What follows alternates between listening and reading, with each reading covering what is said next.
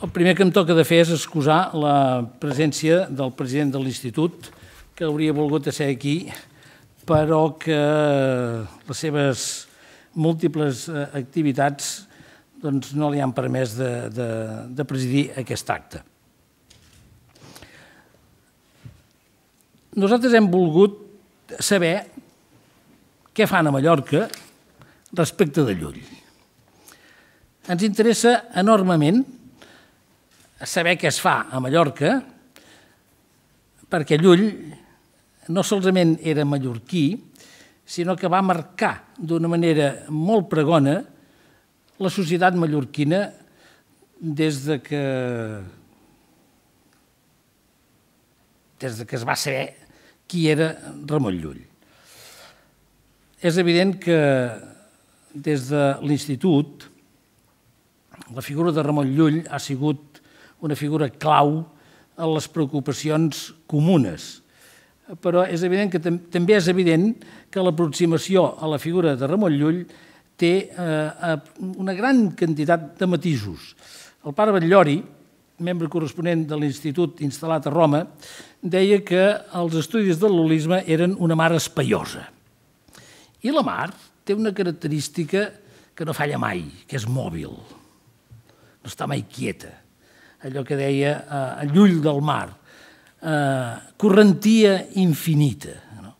El mar sempre es mou. I Llull és un home que a nosaltres, els que depenem del seu heretatge en molts aspectes, és, eh, és un món absolutament inabastable i és un món mòbil. Des de l'institut, evidentment, eh, Llull eh, s'ha estudiat o s'ha intentat d'estudiar des del punt de vista de la ciència. No sé si aquesta és la millor manera d'aproximar-se a aquest personatge eh, tan polièdric, tan ric i, en definitiva, amb uns mètodes que mai no arribaran al nucli del que era la seva personalitat profunda. Com podem explicar científicament el fet de la conversió de Llull que ell relata. Com podem explicar científicament quan ell en un moment determinat diu jo haig de sacrificar la meva vida, si cal, perquè d'altres, gràcies a l'ensenyament que jo he trobat en l'art i en els meus mètodes, puguin arribar a la salvació. Hi ha coses que la ciència no resoldrà mai, i en les qüestions biogràfiques d'una gran personalitat històrica, la ciència no hi té accés. I això ho hem de saber des del començament. Per això, l'aproximació a Llull és i ha de ser eh, polièdrica i ho serà sempre. Tant si l'agafem, tant si l'emprenem des del punt de vista de l'estudi científic, que vol dir en allò que és comprovable, com si mai s'emprèn la tasca de fer-ne una gran saga, una gran novel·la o un gran film, que seria molt complicat de fer si s'hagués de ser fidel a aquesta personalitat tan rica, tan polièdrica i, en definitiva, tan decisiva i, jo diria també, mm, tan mm, exemplar de la manera com som els, eh, els catalans. Llull es va proposar coses impossibles, coses impossibles i hem de tenir present que tota la seva vida va treballar per coses impossibles. Impossibles fins a un cert punt, però de, des del punt de vista de partida, impossibles. Bé, eh, com que el meu objectiu no és fer una conferència sobre Llull, perquè tenim aquí altres representants que ens parlaran amb gran competència d'aspectes eh, de Ramon Llull, jo només voldria, mm, en aquest moment, que hem convidat els mallorquins a una representació d'intel·lectuals i responsables culturals de, de Mallorca perquè ens expliquin els seus punts de vista i els seus projectes lulians, jo només em toca de recordar que aquest any l'Institut ha publicat aquest llibre, que és un llibre molt pesat, que és un llibre que pesa molt, però no pesa físicament, sinó que pesa en el sentit en què els llibres tenen un pes, que se'n diu Ramon Llull, Vida i Obres, volum primer, eh, que l'ha fet el, el professor mm, Pere Villalba i que en aquests moments s'està presentant, o d'aquí una hora es presentarà també eh, contemporàniament a la Real Acadèmia de Bones Lletres de Catalunya.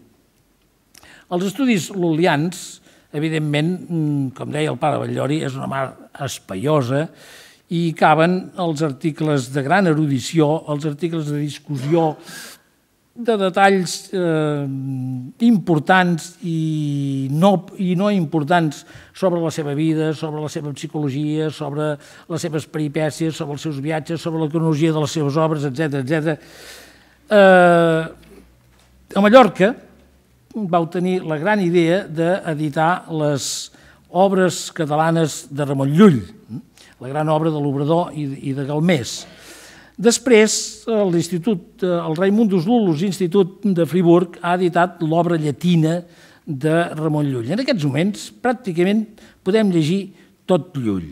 Això no s'havia pogut fer mai de la vida, perquè ni se sabia Se sabia on començava la seva obra, però no se sabia on, on acabava. Hi havia eh, bastantes ambigüitats i bastants dubtes, eh, obres atribuïdes, etc. Avui dia eh, aquest treball crític s'ha fet eh, pràcticament amb una mica més de 50 anys i, per tant, ara tenim accés als textos eh, autèntics de Ramon Llull i, per tant, el podem llegir per primera vegada. Llegir Llull, eh, s'ha de dir una mica en veu baixa, eh, és una obra inacabable. No sé si mai ningú haurà llegit tot Llull, perquè són cap a 300, cap a 300 entre 280 i potser unes 300 obres, perquè encara que hi hagi obres que no siguin eh, autèntiques de Llull, sí que eh, algunes reflecteixen molt pròximament el seu pensament.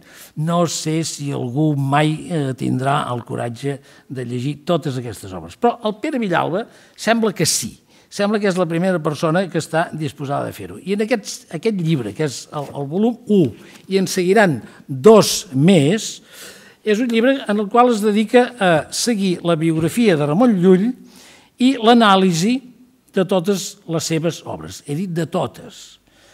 Esperem que Déu li doni tota la salut que necessiti per arribar al final del tercer volum. De moment el segon està fet, encara no està editat, i eh, amb això tindríem una primera guia crítica, en el sentit que les obres de Llull que són analitzades són les obres que no es poden no considerar de Llull, i per tant, i una primera introducció al que diu o vol dir Llull en, en, en cada obra. Em sembla que aquest és un fet que hem de subratllar perquè mm, no s'ha produït per una voluntat d'una corporació, per exemple, de l'Institut o de qui sigui, o de la Generalitat, o del govern, o de qui sigui. No, de cap govern. S'ha produït per una iniciativa individual. I és un autor que, eh, quan mm, entreu a les pàgines d'aquest llibre, veureu que s'ha identificat totalment amb Ramon Llull. I a vegades un pensa si en Ramon Llull és en Ramon Llull o és en Pere Villalba perquè eh, això és una cosa que a vegades passa. No? Eh, hi ha historiadors que s'identifiquen amb el personatge que historien. Ha passat moltes vegades en la historiografia. Hi ha historiadors de Napoleó que no saps si en Napoleó és l'historiador o és en Napoleó de veritat. Eh, en Pere Villalba és un home absolutament eh, que s'ha convertit, per dir-ho així, no al lulisme, sinó en, en Llull. No? És ell el que en aquests moments interpreta Llull d'una manera, mm, d'una manera que jo diria molt coherent, molt ambiciosa i molt perillosa, evidentment, no? perquè interpretar a un personatge a 700 anys o 600 anys de distància és un risc, però en canvi algú ho ha de fer això. Algú ho ha de fer perquè si no es fa no entraràs mai en la pell i en la psicologia real del personatge.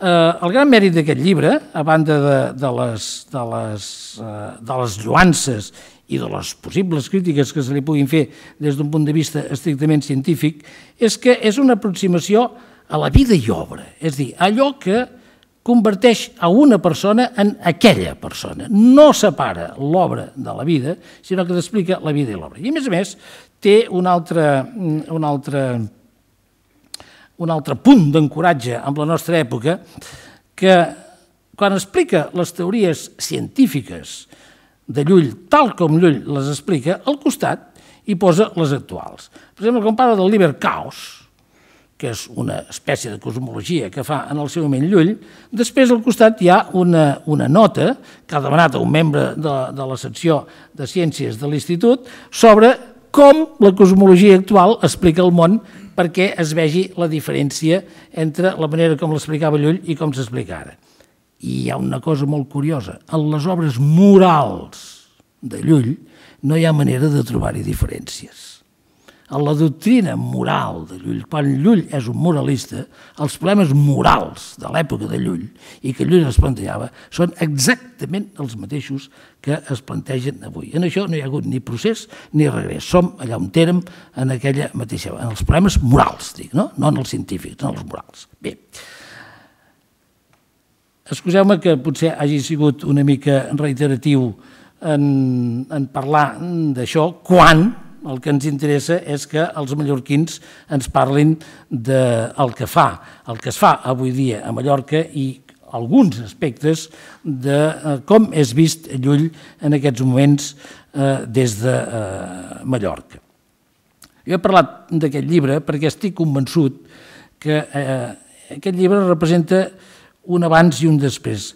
Periòdicament, en la història de l'holisme hi han hagut estudis diríem, de caràcter especialitzat i monogràfic i grans síntesis. No citaré ara els que s'han produït. Crec que aquesta obra de Pere Villalba, sobretot si tenim la sort que arribi al seu acompliment eh, final, representarà una espècie d'enciclopèdia on tothom podrà anar a buscar una dada, a certificar una data, eh, a veure, eh, a saber exactament un text quan va ser, quan va ser produït. És dir, serà una mena d'obra de, de, de referència bàsica per estudiar tots aquells aspectes de Llull i del lulisme que es puguin desenvolupar a partir de la figura de Llull. Els erudits eh, solem tenir, per de formació professional, eh, el vici de voler explicar què pensava aquest senyor eh, o què va dir exactament, etc etc la societat, jo crec que dels grans personatges històrics, el que li interessa és la fecunditat del seu pensament. Un erudit no diria mai que Llull és el precursor de la informàtica, però un ciutadà normal i corrent que es fiqui en el món eh, lul·lià potser sí que tindrà moltes raons per pensar que abans que hi haguessin les equacions booleanes que han permès eh, doncs, determinats aspectes del desenvolupament matemàtic que hi ha en, en, en, com a teoria de la tecnologia informàtica, doncs que Llull estava llunyanament també en aquesta línia. I és això el que ens interessa de Llull, no el que digui un erudit, sinó la fecunditat del seu missatge, de la seva ambició i també, per què no dir-ho, dels seus objectius mancats. Dit això, mm, passem la paraula al senyor Teodor Suau, canonge de la catedral de Mallorca, que ens parlarà de Ramon Llull, somni, miracle i misteri. Bé, moltíssimes gràcies. Jo tinc dos problemes a l'hora de fer aquesta intervenció. Que aquest pobre senyor és la tercera vegada que m'escolta en dos dies i crec que ja dic algun debat que és molt sabut, he dit algun debat el que m'he preparat nerviós. No? I l'altre que com que... Perdó. L'altre que com que som molt xerrim, en 35 minuts hauré de fer molta via per dir-vos tot el que m'agradaria dir-vos, però sí que puc assegurar que en els 35 minuts m'aturaré. Per tant, farem allò que Déu voldrà en tot el nostre interès. Ramon Llull, somni, miracle i misteri. Faré dues coses avui.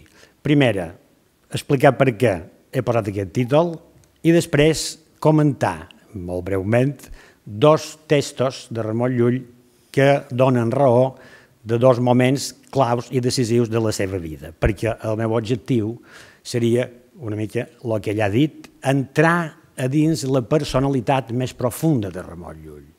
Allò que realment dona raó de la fascinació que provoca entrar en contacte amb aquest senyor. I si aconseguís dues coses més, una, que passàssim una bona estona, tots els que estem aquí, i l'altra, que en sortir mos haguéssim fet una mica més amics de Ramon Llull, jo me consideraria molt satisfet. No? Ramon Llull, Creador de la nostra llengua. Llegir-lo és assistir al part de la nostra llengua.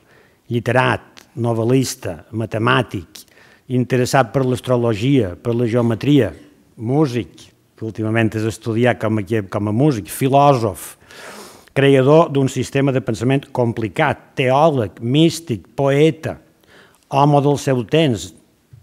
Totes aquestes coses tenen una clau de volta, tenen un punt a on es poden convertir en sistema i en estructura de personalitat, pens que sí.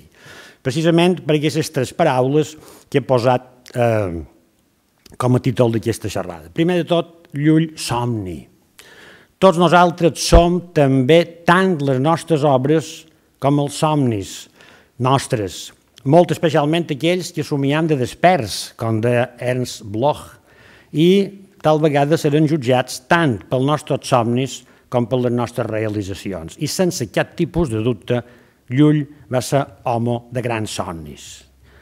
Un projecte constant de transformació de la persona, reformador de la societat, contínuament elabora programes per reformar la societat del seu temps, reformador de l'Església, reformador de les institucions pedagògiques, molt adelantat a les teories del seu temps. No? Eh, escrivien llibres que tractaven manu, petits manuals per a l'educació del fill, doctrina pueril, per exemple, de les institucions polítiques, llibre de cavalleria, econòmiques, quan ell descriu quin seria l'ideal d'una verdadera ciutat, no? i eclesiàstiques, quan fa un projecte de cabildo, que és de les coses més difícils de convertir de l'Església, i considera que a cada canonge tenint una finalitat que li atorga podria funcionar molt bé. Aquest somni es converteix en miracle. Què és miracle?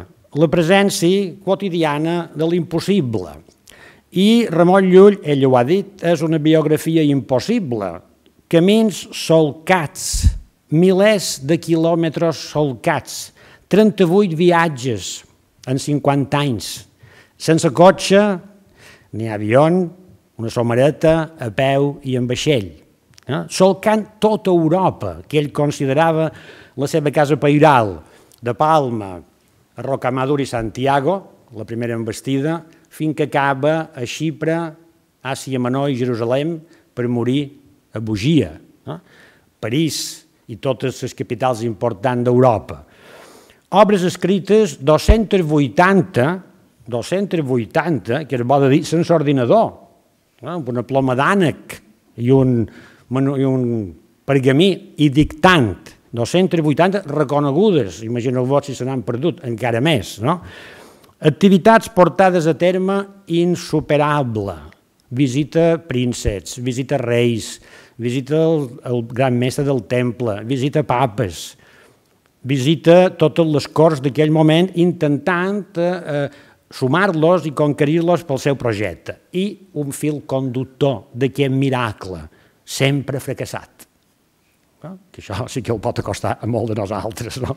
Dir, en tota la seva vida no va convertir mai un musulmà. I això que vos diré d'aquí un moment que va voler escriure el millor llibre del món per convertir. No? Eh, fracassat perquè a un moment donat se'n dona compte que papes, reis, senyors passen olímpicament d'ell. No? I així i tot, així i tot, fins als 84 anys, que en aquell temps era molt de dir, no acota mai el cap. I quan l'acota, s'enginya per tornar-lo a treure de fora i tornar a investir. Eh? Miracle perquè en aquesta vida llarguíssima per lo que és d'aquell temps, ell sempre troba la forma de cercar un punt de fidelitat a les seves grans corolles. I misteri, que jo m'apareix que seria hermós dir eh, un somni que pastat pel misteri esdevé miracle, naturalment no entenc per misteri allò que nosaltres ens ensenyaven quan érem petits. Ens deia, misteri és allò que no se pot explicar. No? Per exemple, la Santíssima Trinitat. Si no se pot explicar, de quina cosa serveix.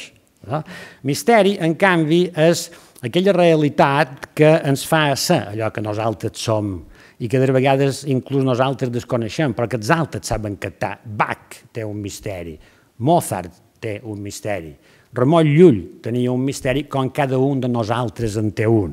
I aquest misteri és el que a mi m'agradaria avui aclarir un poc més. I per això me concentraré en aquests dos moments que ha dit de la seva vida que jo crec que donen raó d'aquest misteri que pasta el somni i el converteix en miracle. Ramon Llull neix l'any 1232, fill de Ramon i Isabel d'Arill, quan encara la nostra ciutat de Palma fa l'or de l'incendi i dels saqueig que han provocat les tropes de Jaume I quan ha conquerit, dia 31 de desembre de 1229, Medina Mallorca. L'any 1257, per tant, quan té 25 anys, es casa amb Blanca Picany i descat de poc temps té un fill que anomena Domènec Major i Magdalena, una segona filla. Vull fer un petit eh, homenatge a la dona d'aquest Ramon, Blanca Picany, perquè passa molt desapercebuda, però de fet és la que li va aguantar els fills, els hi va criar, i la que se va fer càrrec del patrimoni quan ella mateixa va fer un plet molt simpàtic a l'Ajuntament de Mallorca de Palma, que encara se conserva, quan diu posa plet al seu marit perquè ha abandonat la família, perquè ha tornat completament contemplatiu eh? i l'Ajuntament falla a favor d'ella. Eh? Però és cert que en aquell temps el matrimoni per amor no existia. Existia un matrimoni que consistia en apuntalar dues eh, per fer-ne una de més forta. I la divisió de treball estava molt ben pensada. Perdó, estava molt ben assumida. no diré pensada. Estava molt ben assumida. No?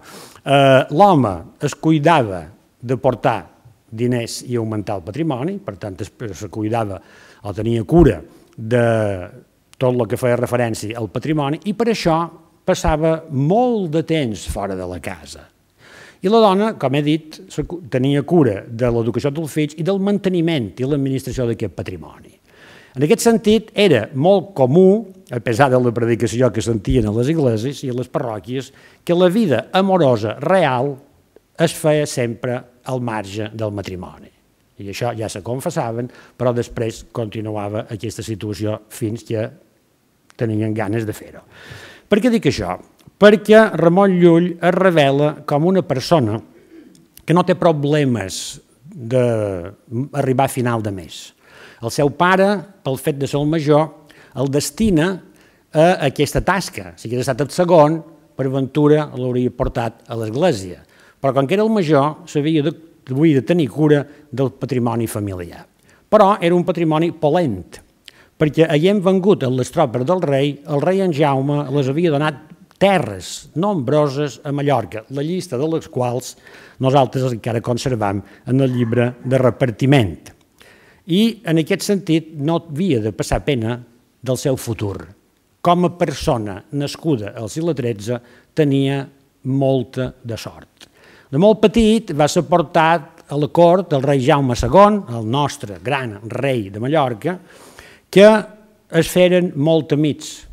I aquesta amistat a Ramon Llull li va anar molt bé, perquè moltes de vegades que es va trobar estret, el rei, el rei Jaume II el va defensar. I a un moment donat el convida a les seves noces i diu que li donin tantes lliures mallorquines perquè forma part de la nostra casa. En aquest sentit, per tant, Ramon ha après mallorquí, català, o la llengua que se parlava llavors, llengua vernacle, però, llatí no n'aprèn més que molt, molt, molt pocs rudiments, però sí que té una gran admiració pel trobadors i escriu sovint poemes a totes aquelles al·lotes, que agradaven molt les dones, no? i a totes aquelles al·lotes de les quals s'enamora. I, per tant, ell, durant 30 anys, du una vida que ell mateix, en el llibre de filosofia, diu «Jo era un home casat amb fills, dissolut i mundà». Més tard també ens dirà que a vegades ha carregat les tintes sobre la seva maldat per tal de moure a admiració al lector davant l'infinita misericòrdia de Déu que l'ha salvat d'aquests pecats. El que sí és cert és que ell tenia una vida amorosa intensa al marge del matrimoni. Fins que un dia, un dia, nosaltres, nosaltres disposant d'un llibre que se diu La vida coetànea, que ha escrit l'any 1311, dictat per ell, els monjos cartoixans, cartoixans de la cartoixa de Vauvert de França, conta la seva vida des de la conversió. Està fora de dubte la seva historicitat, però a nosaltres ens interessa moltíssim perquè dona el to i el contingut d'allò que ell vol que pensin d'ell. I per tant això ens interessa. Comença aquest llibre d'aquesta manera.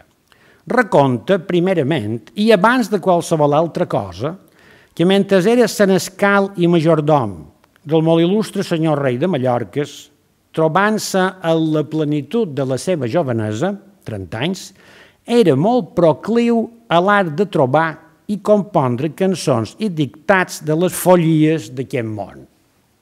Molt important lo dels trobadors, perquè el trobador és aquella persona que té un ideal de dona a la qual s'adona totalment, però que és més ideal que real. Eh, Cervantes, alguns sigles més en van, ridiculitzarà aquesta actitud entre Don Quijote i la Dulcinea, que se sent un canterano, i aquell home estava profundíssimament enamorat d'ella. No? Ho venc dir això perquè aquest amor ideal, amb una punta de platònic, és un amor que per Ramon Llull va ser molt decisiu. Diu que una nit, mentre escrivia un poema que no li sortia, remirant a la part dreta, veié nostre Senyor Déu Jesucrist penjat en una creu, molt dolorit i apassionat. Vull sorratxar, veu un home penjat a una creu, molt dolorit i apassionat. No parla de resurrecció, veu una creu i un crucificat. Un cop vist això, li sobrevingué un gran temor, lògic, no? I deixant totes aquelles coses que tenia entre les mans, se ficà al llit i es va colgar. No se deia tampoc, que està massa, quan va dormir tan fàcilment. Diu, ell mateix, que cinc vegades li va passar aquesta mateixa aparició. I al final, entrant en ell mateix, es va posar a pensar. Tant que va decidir fer un any de peregrinació.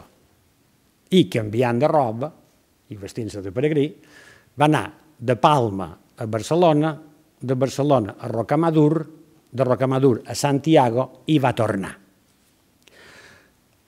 Tornant, se va aturar a Barcelona altra vegada i va compartir amb alguns amics, del qual sabem un nom, Ramon de Penyafort, li va, les va dir, com a resultat d'allò que havia pensat durant el camí de, que havia fet, aquesta peregrinació, diu, me'n vaig estudiar, perquè som illetrat i no, no, sé, no sé res.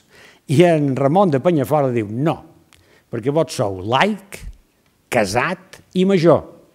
Per tant, heu de canviar de tàctica. I ell ve cap a Mallorca.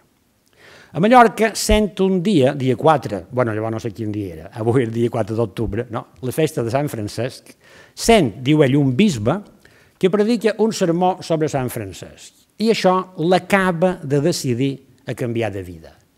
Dic aquestes tres coses perquè no és que probablement ves un Sant Crist a la paret, sinó que ell, durant una època determinada de la seva vida, té aquests tres moments. Una crisi interior molt fonda, una entrada dins ell mateix i una elaboració d'aquesta crisi que dura tot temps de la peregrinació i que llavors, mirant a Sant Francesc com a model, acaba en una decisió. Què ha passat? Mireu, la meva modesta opinió, Ramon Llull és una personalitat que és el resultat de dos grans dinamismes. Un, una estranya intel·ligència, una capacitat intel·lectual fora de lo comú. I, en segon lloc, una un gent, no? una capacitat també estranya, una necessitat imperiosa i intensa, apassionada d'estimar i de ser estimat. Juntant aquestes dues coses, la intuïció de l'amor i la intel·ligència natural és una bomba de rellotgeria, però dona com a resultat una fascinant realitat personal. Què és el que jo crec que li degué passar? Que cercava un interlocutor i no el trobava. espipallava, però no acabava de trobar aquell amor, aquell interlocutor a la seva mesura. I aleshores, reelaborant una i una altra vegada aquestes frustracions, entra en contacte amb allò que ha sentit predicar a les esglésies, amb allò que li han contat de Jesucrist, amb allò que veu quan entra dins una església, a casa seva tal vegada, i veu un home que ha estat capaç d'estimar més enllà del torment i del no sentit de la creu. I ell diu, una persona capaç d'estimar d'aquesta manera mereix a ser coneguda per mi. Vull insistir, que això avui en dia tal vegada el que ha canviat més, que en aquell moment i en aquell temps Jesús no era una possibilitat d'engany o una falsedat predicada, sinó que per aquella gent i aquella generació era algú tan viu i tan real com ho podem ser tots nosaltres. Per tant, si afegiu l'amor del trobadors, la consciència que la fe li, li comunicava i l'experiència que ell té de contemplació d'aquesta realitat, crec que poden explicar almenys aquesta voluntat Maslow diria una experiència cimera que pot estar molt ben simbolitzada en aquesta impossibilitat d'escriure un sonet o una cançó, com diu ell, que se repeteix i no l'acaba de saciar, fins al punt que ell arriba finalment, al tercer moment, durant la peregrinació, pensa, prega, dubta, demana, veu, contempla, i quan torna, la cosa que li fa cloure aquesta primera etapa és Sant Francesc. Per què? Perquè Sant Francesc és la persona no teòrica, sinó pràctica, que ha viscut d'una determinada, manera, determinada manera en funció d'aquest Jesús crucificat, que ha patit molt i, com ell, com ell diu, dolorit i apassionat. Des d'aquest moment, Ramon Llull a Jesús el converteix en l'amat i ell agafa la definició de l'amic i tota la seva vida, cada una de les seves pàgines serà un testimoni de l'esforç de trobar aquest amat i de dir-li el seu amor. Evidentíssimament, quan torna, tampoc no, no ha donat tot per acabat, dedica uns nou anys a estudiar, però se retira a Randa.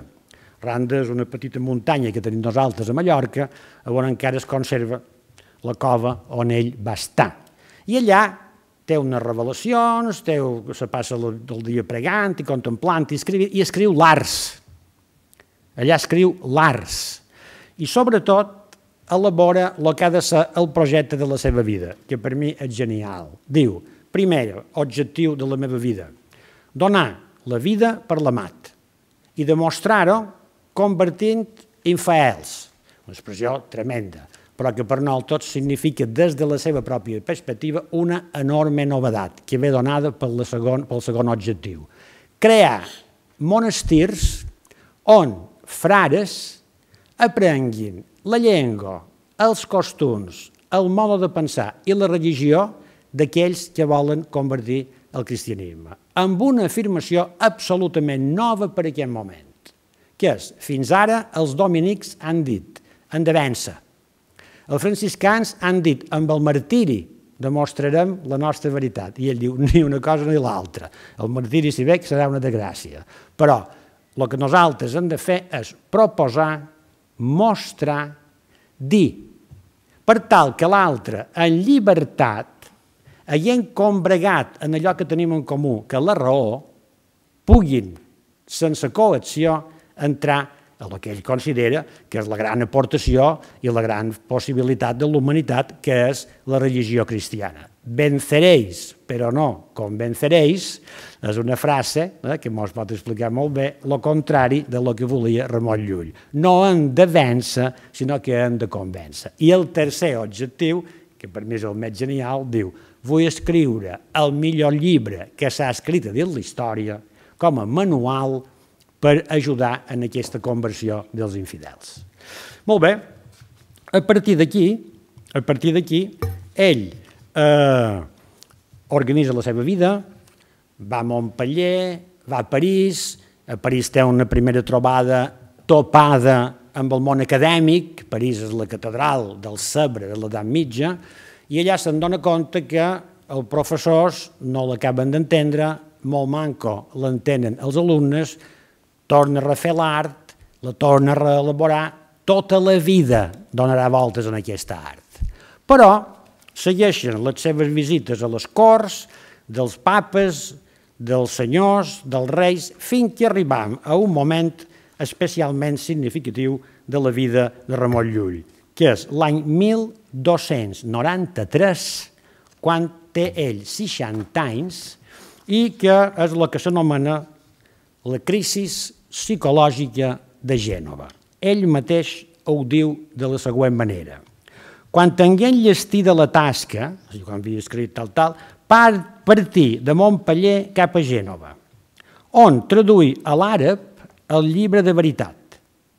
En acabar, decidir anar a la cort romana per donar forma al projecte de vestir monestirs que tant desitjava. Era papa Nicolau IV, el primer papa franciscà de la història, i som a l'any 1291. Però, com que els obstacles petits a la cúria no li permetiren avançar a la comesa, decidí de tornar-se'n a Gènova, ja que de sí era factible poder passar amb facilitat a Barbaria i allà provar, a la pràctica, ell, si tot sol era capaç de disputar amb els musulmans d'acord amb l'art, etc etc etc. O sigui, ha topat a París amb una dificultat teòrica, ha topat a Roma amb una dificultat pràctica, i ara diu, basta, hem de passar de la teoria a la pràctica jo. I jo ara provaré si realment el que he escrit val la pena i si és el millor, el millor llibre del món o no serveix per res. Decideix anar-se'n a Àfrica, concretament a Tunis, però avisa la gent a Gènova, compra un bitllet per anar a una nau que salpava d'allà, hi fica el cofre amb els seus llibres, el seu art, i a l'hora de partir, tota la gent allà que l'ha anat a acomiadar perquè estan contents que un cristià vagi a convertir els musulmans, a veure si s'acabaran les crisis que hi ha entre musulmans i, i la resta de la cristiandat, i quan està per votar a dins la nau, li pega una crisi de pànic i li pega una tremenda por de que si se'n va allà no el matin i no el facin malbé. Tan fort que torna enrere. I teniu el gran Ramon de la barba florida, aquesta columna del seu temps, que queda dissolt com un terror de sucre dins la por. I té una depressió que li dura un any sencer.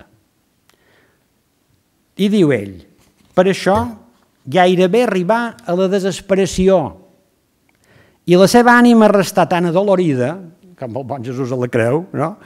Que caigué en una gran malaltia. Llavors no sabien que era una depressió, no? que li durà molt de temps, durant el qual no volgué descobrir a ningú la causa. Només plora, resa oracions vocals i participa a la celebració del culte de, de l'església allà on ell viu. Passa un any, pensa molt, té un complex de culpabilitat impossible, perquè diu, tota la vida he parlat de l'amat, he animat a altres al martiri i quan m'ha tocat a mi li he posat banyes, a l'amat. I això és una cosa que ell no pot pair.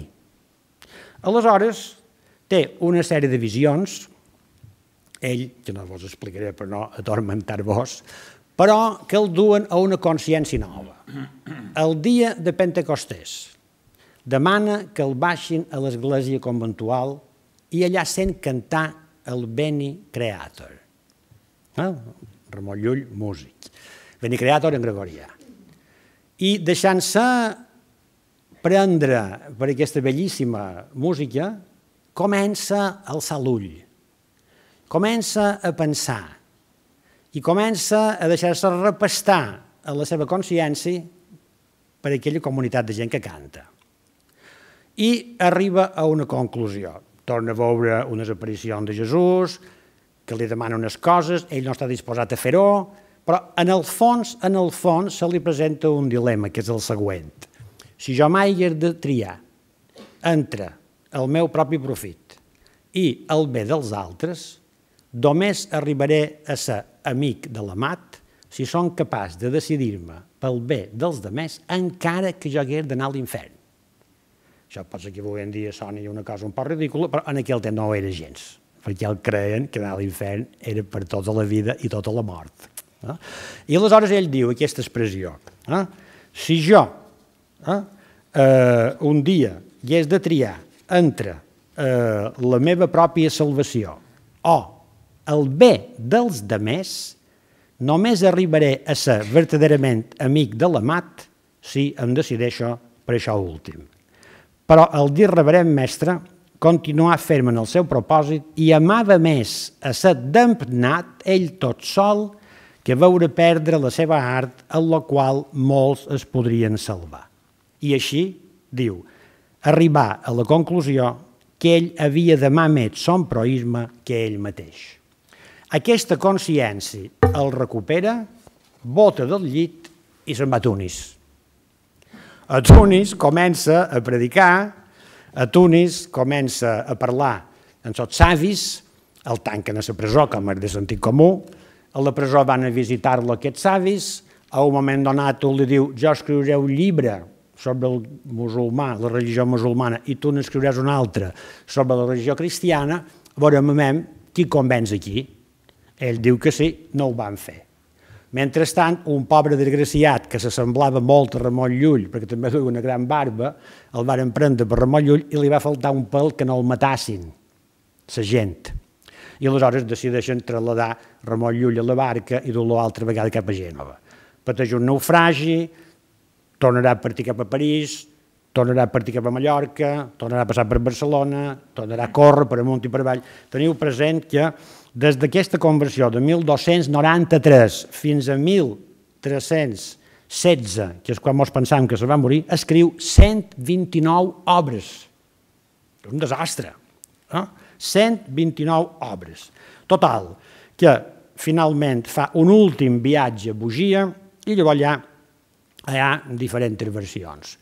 Uns que diuen que la Pedregaren hi va morir, els altres que diuen que la Pedregaren i se'n va anar cap a Mallorca i pel camí va morir, i els altres que diuen que se'n va anar a Mallorca, bo, i estalvi, i allà va morir. El que sí sabem és que a partir de, 14, de 1315 perdem les seves notícies i 1316 sabem que ja el van enterrar a l'església de Sant Francesc. Que és el que jo penso, i a cap tot d'una, que mos pot interpel·lar i mos pot dir a nosaltres Ramon Llull avui. Primer, que ser interessant és a ser contradictori. No? Que ser sant no és una persona perfecta, sinó que és aquella persona que viu les seves pròpies contradiccions amb estil, amb elegància i amb dignitat.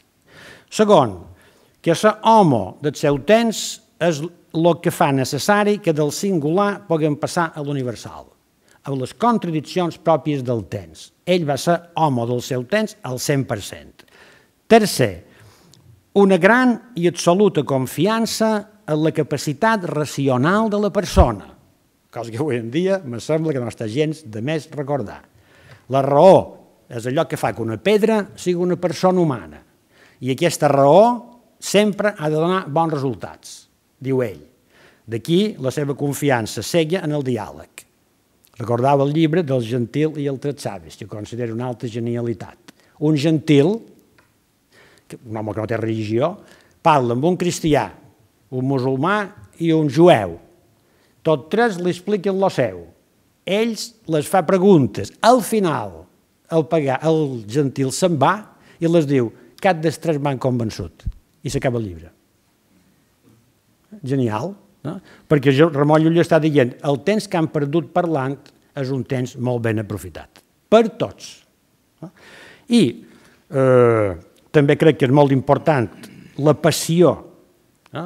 de la vida, tenir una passió és a dir, la vida fecunda molt, i finalment, per totes aquelles persones que són de l'àmbit cristià, recordar que l'evangelització és proposar i no imposar, com gràcies a Déu Pau VI va explicar fa molt d'anys també a una famosa encíclica en què va introduir aquest concepte. Que faré llegint-vos una parrafadeta que a mi m'agrada molt, que conta la mort que probablement a ell li hagués agradat tenir, i que diu, mort d'amor digué la sabidoria. Digués el donzells d'amor que portin l'amic a Jerusalem i que el manin per tota aquella terra santa on Jesús nasqué i allà morirà l'amic per amor. I quan l'amic va veure els llocs de la passió de Jesucrist, multiplicar tant son amar i sots sospirs, i els seus ulls ploraren tant que no pogué suportar-ho més i la doctrina de prudència no li pogué ajudar en res. No? Aleshores, mogut d'un intens amor, cridà, Ah, amat, ah, amor, ah, amar, perdona el donzell d'amor que m'han portat en aquesta terra per morir. I s'acomiadà de mort d'amor i exhalar el seu alè i aspirar i morir per amor. Cantaven els ocells a l'auba i es despertar l'amic, que és l'auba. I finiren els ocells el seu cant i l'amic morí per l'amat a l'auba. Moltes gràcies.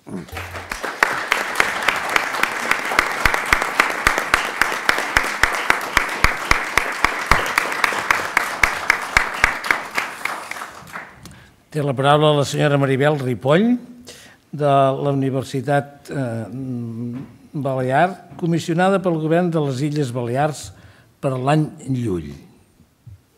Moltíssimes gràcies. I en primer lloc voldríem expressar el nostre agraïment a l'organització, als organitzadors d'aquestes jornades que ens permeten dur llull a la institució que ens aixopluga a tots com a investigadors en un mateix àmbit lingüístic i en una mateixa cultura. Després de l'anomenada conversió a la penitència, esdevinguda quan Ramon Llull comptava amb una trentena d'anys, per tant, pel vols de 1262-63, i com a conseqüència de la visió del Sant Cric crucificat que ens acaben de, de descriure, el nostre autor va esdevenir un professional de la missió autoimposada, dirigida tant als infidels que calia convertir com els cristians mateixos que havien de ser reconduïts al camí de la perfecció moral. D'aquí que mestre Ramon volgués escriure el millor llibre del món contra els errors dels infidels, que declaràs la intenció d'anar a predicar i que manifestàs la voluntat de convèncer els reis i els papes perquè fundassin escoles per a la preparació de missioners, especialment en matèria lingüística. Després de nou anys de formació intel·lectual autodidacta, que incluïa les lliçons d'àrab d'un mestre musulmà, el llibre de contemplació en Déu, redactat primer en àrab, a continuació en català i finalment en llatí, inaugurava una extensíssima producció literària, concretada en 260 títols, i que no tenia més finalitat que transmetre l'art, o el que és el mateix, la tècnica d'inspiració divina, instrument per convèncer l'altre de manera raonada i argumentada, que descansava sobre uns principis bàsics comuns a les tres religions monoteistes, islam, judaïsme, cristianisme, i que s'articulava amb uns principis de relació que permetien resoldre qualsevol pregunta sobre el món creat i sobre Déu. L'art esdevenia l'instrument per conèixer i estimar Déu, objectiu primer del convertit Ramon, que havia de fer extensiu a la resta del món. La necessitat de difondre aquesta tècnica, que faria possible recuperar la pau social, va esdevenir obsessiva per al nostre autor, per la qual cosa va preveure tot un seguit d'estratègies literàries per dur a terme aquesta difusió. És des d'aquesta perspectiva instrumental de la literatura que cal entendre, com han fet palès diversos, estudis com de Badia, Pereira, Pistolesi, Santanac, aquí present Albert Soler, entre d'altres, l'adaptació lingüística i estilística del discurs lulià al públic al qual es dirigeix. Certament, els infidels esdevingueren l'objectiu principal, però no únic, de l'obra luliana. Reis i papes, clergues, mestres universitaris i laics en general eren destinataris potencials del missatge salvífic lulià. Aquesta multiplicitat de receptors obligà mestre Ramon a adaptar-se a cada cas en particular – D'una banda, i prenent el mots de Miquela Pereira, el multilingüisme lulià tenia per objectiu la difusió de l'art no només en un sentit geogràfic, sinó sobretot en un sentit sociològic, fet que es confirma en l'existència de les obres de doble tradició que, com ens ha explicat Helena Pistolesi, foren redactades primer originalment en català o en llatí i que posteriorment foren traduïdes arran de les necessitats de, de, de difusió entre els diferents receptors. D'altra banda, l'adaptació estilística també s'ha de veure en termes d'eficàcia comunicativa, com a fruit de la necessitat per fer-se fer entendre de la millor manera possible per a qualsevol tipus de receptor. La conseqüència en són els tractats tècnics complexos, però també les narracions novel·lades, i tenim títols com El romans de Baste Plaquerna i el llibre de Meravelles, l'ús del diàleg, el llibre de Santa Maria o Consolació d'Ermità, de l'al·legoria, també el llibre de Santa Maria, a l'arbre de filosofia d'amor, a la ciutat del món, els reculls proverbials, proverbis de Ramon, mil proverbis, o les composicions poètiques com el Desconhort, Hores de nostra dona. A tall d'exemple concret, la dedicació a l'amable fill de la doctrina pueril del llibre d'intenció o de l'arbre de filosofia desiderat és un recurs literari que entronca en la literatura didàctica de procedència francesa i que, a banda de la lectura en clau autobiogràfica que pot fer-se'n, ja s'ha esmentat el fill Domingo, li serveix al nostre autor per adreçar-se a un laic que necessita aprofundir en els coneixements filosòfics i morals. En aquest context, un dels aspectes que criden poderosament l'atenció de l'argument del romans de Baste Blaquerna és la presència de dues dones que, com els protagonistes masculins, tenen una càrrega activa en la reforma o ordenació del món que les envolta i que, en certa mesura, preludien l'acció reformadora del personatge principal. Ens referim a l'home, a Natana i en molt menor mesura a Anastàsia, personatges femenins amb els quals Ramon Llull obre la porta a una nova consideració de la dona força diferent de l'habitual del moment. El paper de la dona en la literatura luliana ha estat espinzellat en diverses ocasions al llarg dels darrers 30 anys, per ventura un poc superficialment. S'ha analitzat globalment com apareix la figura femenina en la literatura de Llull, però potser no s'ha tingut prou en compte la dona com a receptora de l'obra mateixa. D'una banda, un dels grans personatges femenins emblemàtics, com és la badessa Natana, coneix i aplica l'art a la quotidianitat. Quin paper juga la dona en l'estratègia de difusió de l'art? Com encaixa en la transmissió del coneixement lulià? N'és destinatària, destinatària potencial o bé no hi té accés a priori per fet de, pel fet de ser dona. I quines estratègies desenvolupa el nostre autor per fer-se accessible al públic laic, incloent-hi la dona? En aquest context, en el qual tothom esdevenia receptor potencial de l'art en tant que mitjà per assolir el coneixement de Déu, Ramon Llull no podia permetre's que el seu mètode i missatge reformador no arribés també a les dones, per a les quals va preveure un seguit d'estratègies persuasives, com veurem ara mateix. Per això, analitzarem els casos de l'home i Natana i completarem el panorama amb una referència ràpida, per no estendre's, als exemples sobre virtuts i vicis del llibre de Santa Maria protagonitzats per dones. Així mateix, també tindrem en compte la presència de les reines, a les quals Llull dedicà alguna de les seves obres, tot pensant en la difusió àmplia de l'art. Les tres dames del Blaquerna, Aloma, Natana i Nastàsia. El romanç de Baste Blaquerna fou redactat segurament a Montpellier, no ho sabem, entre 1276 i 1283. S'hi explicita l'ordenació del món per mitjà de l'ordenació correcta de les dues intencions a partir de la tasca de Bast, Aloma, Natana i Blaquerna. S'estructuren cinc llibres, el primer del qual és dedicat a l'estament matrimonial i el segon és el que tracta de religió, intitulat explícitament al final del capítol com el llibre de l'ordre de les dones. Els dos capítols tenen com a característica comuna que són protagonitzats per tres personatges femenins, Aloma, Nastàsia i Natana. Comencem per Aloma, esposa d'Evast i mare de Blaquerna, suposa la primera gran innovació en la formulació dels models femenins lulians. La innovació es concreta sobretot en l'episodi de la disputa amb el seu espòs.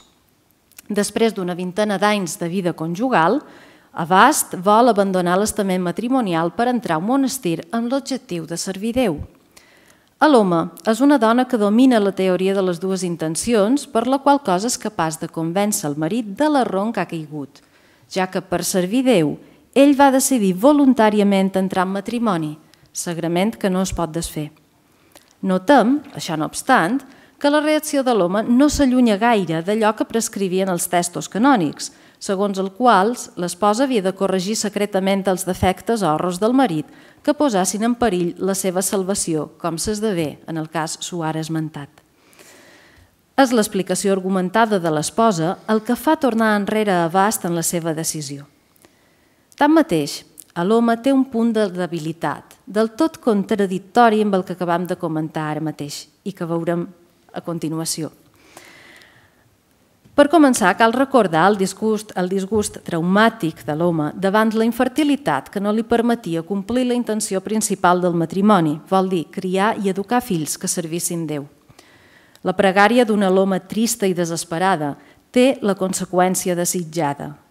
Déu escolta la dona i li atorga la gràcia de l'infantament de Blaquern, el protagonista.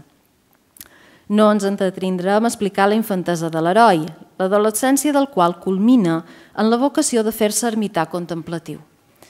La reacció de l'home als desitjos espirituals del fill s'allunya del tot d'allò que hom esperaria després de l'aplicació minuciosa de la doctrina intencional que ha desenvolupat en la disputa marital. Així, després de la justificació sòlida que Blaquerna fa de la vocació que el du a la recerca de Déu, l'home reacciona desesperadament i maquina un matrimoni de conveniència entre el fill propi i la filla de la veïna, Natana.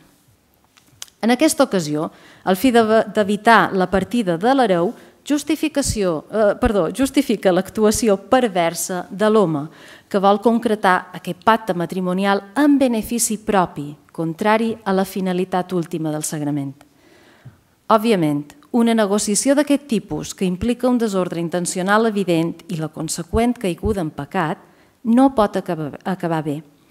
Malgrat que a l'inici es fa manifest l'enamorament de Natana cap a, cap a Blaquerna, i malgrat que en les converses amb la Kerna ella també té ben clar que la intenció correcta del matrimoni és la de tenir fills que serveixin Déu, les raons de l'heroi són tan evidents que aconsegueix convèncer la jove perquè també s'uneixi a la causa de Jesucrist – en un episodi de reminiscències franciscanes immediates i que fa que Natana es converteixi també en un esponsa Cristi.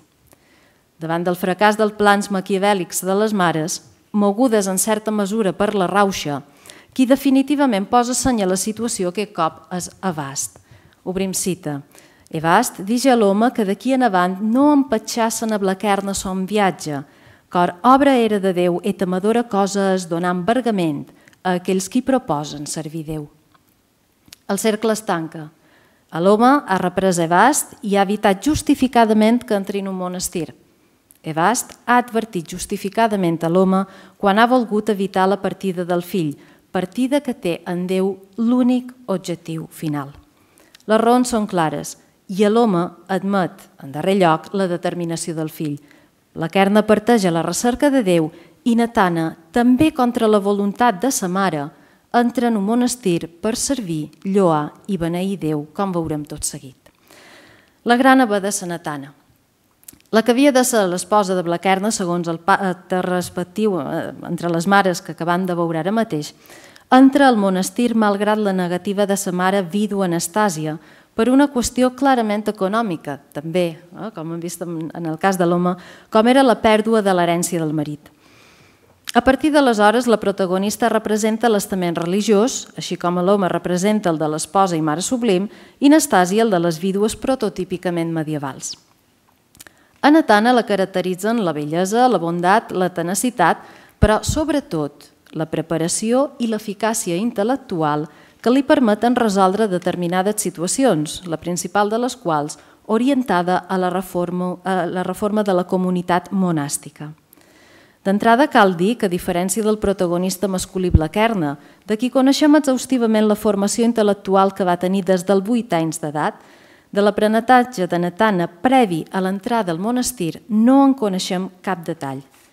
Fins i tot, és possible inferir que la preparació intel·lectual va ser posterior a l'entrada al monestir, com se suggereix al començament del capítol 21, en qual manera Natana fos cristana. Diu, Natana ha pres molt bé de lletra i ha pres lo cant i l'ofici en breu de temps, per tant, molt ràpidament. De fet, sobre els coneixements que té no se'n donen més informacions fins al capítol dedicat a l'elecció de la nova abadessa, quan es fa manifest el coneixement actiu que té, la protagonista té de l'art luliana. Obrim cita. Totes les dones volgueren elegir abadesa segons la manera en la qual havien acostumat a elegir. Més Natana, dius que ella havia entès en novella manera d'elecció, la qual està en art i en figures, la qual art segueix les condicions del llibre del gentil i d'altres savis, la qual segueix l'art abreujada de trobar veritat. Per tant, declaració de l'art ben clara. Les monges hi estan d'acord i preguen Natana que els l'expliqui, la qual respon que de l'art i de l'acció vos diré breument los començaments.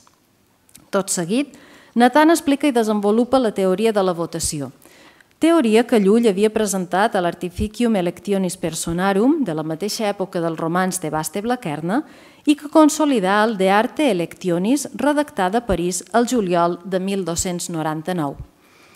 Atenció perquè la dada és prou significativa com per tenir-la ben present en un anàlisi sobre el tractament femení per part de Ramon Llull. És una dona qui a la novel·la sobre la reforma o ordenació del món introdueix l'explicació sobre una estructura artística del tot original. Això vol dir que la dona també té la capacitat d'aprendre l'art i, en conseqüència, la pot transmetre. L'art no fa distinció de sexes, és del tot assequible tant per als homes com per a les dones.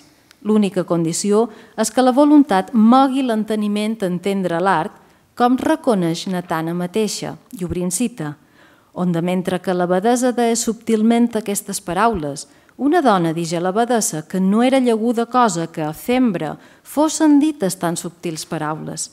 I l'abadesa respòs dient que, pos l'enteniment les podia entendre, covinent cosa era que la voluntat volgués que l'enteniment se n'exalçàs a entendre i que mills ne pugés la voluntat contemplar i entendre Déu i ses obres.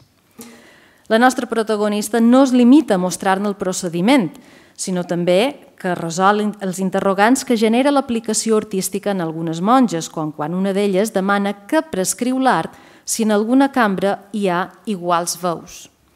Resols els dubtes i un cop que les monges han entès perfectament com s'ha de realitzar la votació, procedeixen a l'elecció que es resol a pres pocs dies. L'originalitat de l'exposició dels fets es tanca amb una nova intervenció de qui serà l'electa abadessa a partir d'aquell moment. Quan ja se'n sap el resultat, Natana comprova que les monges electores han fet la feina correctament i que no s'han equivocat en l'aplicació de la tècnica. Ho cita. Natana i les altres dones veren la manera que havien aguda segons art en l'elecció i trobaren que l'art havien seguida segons que es convenia ho havien fet bé, ho havien entès.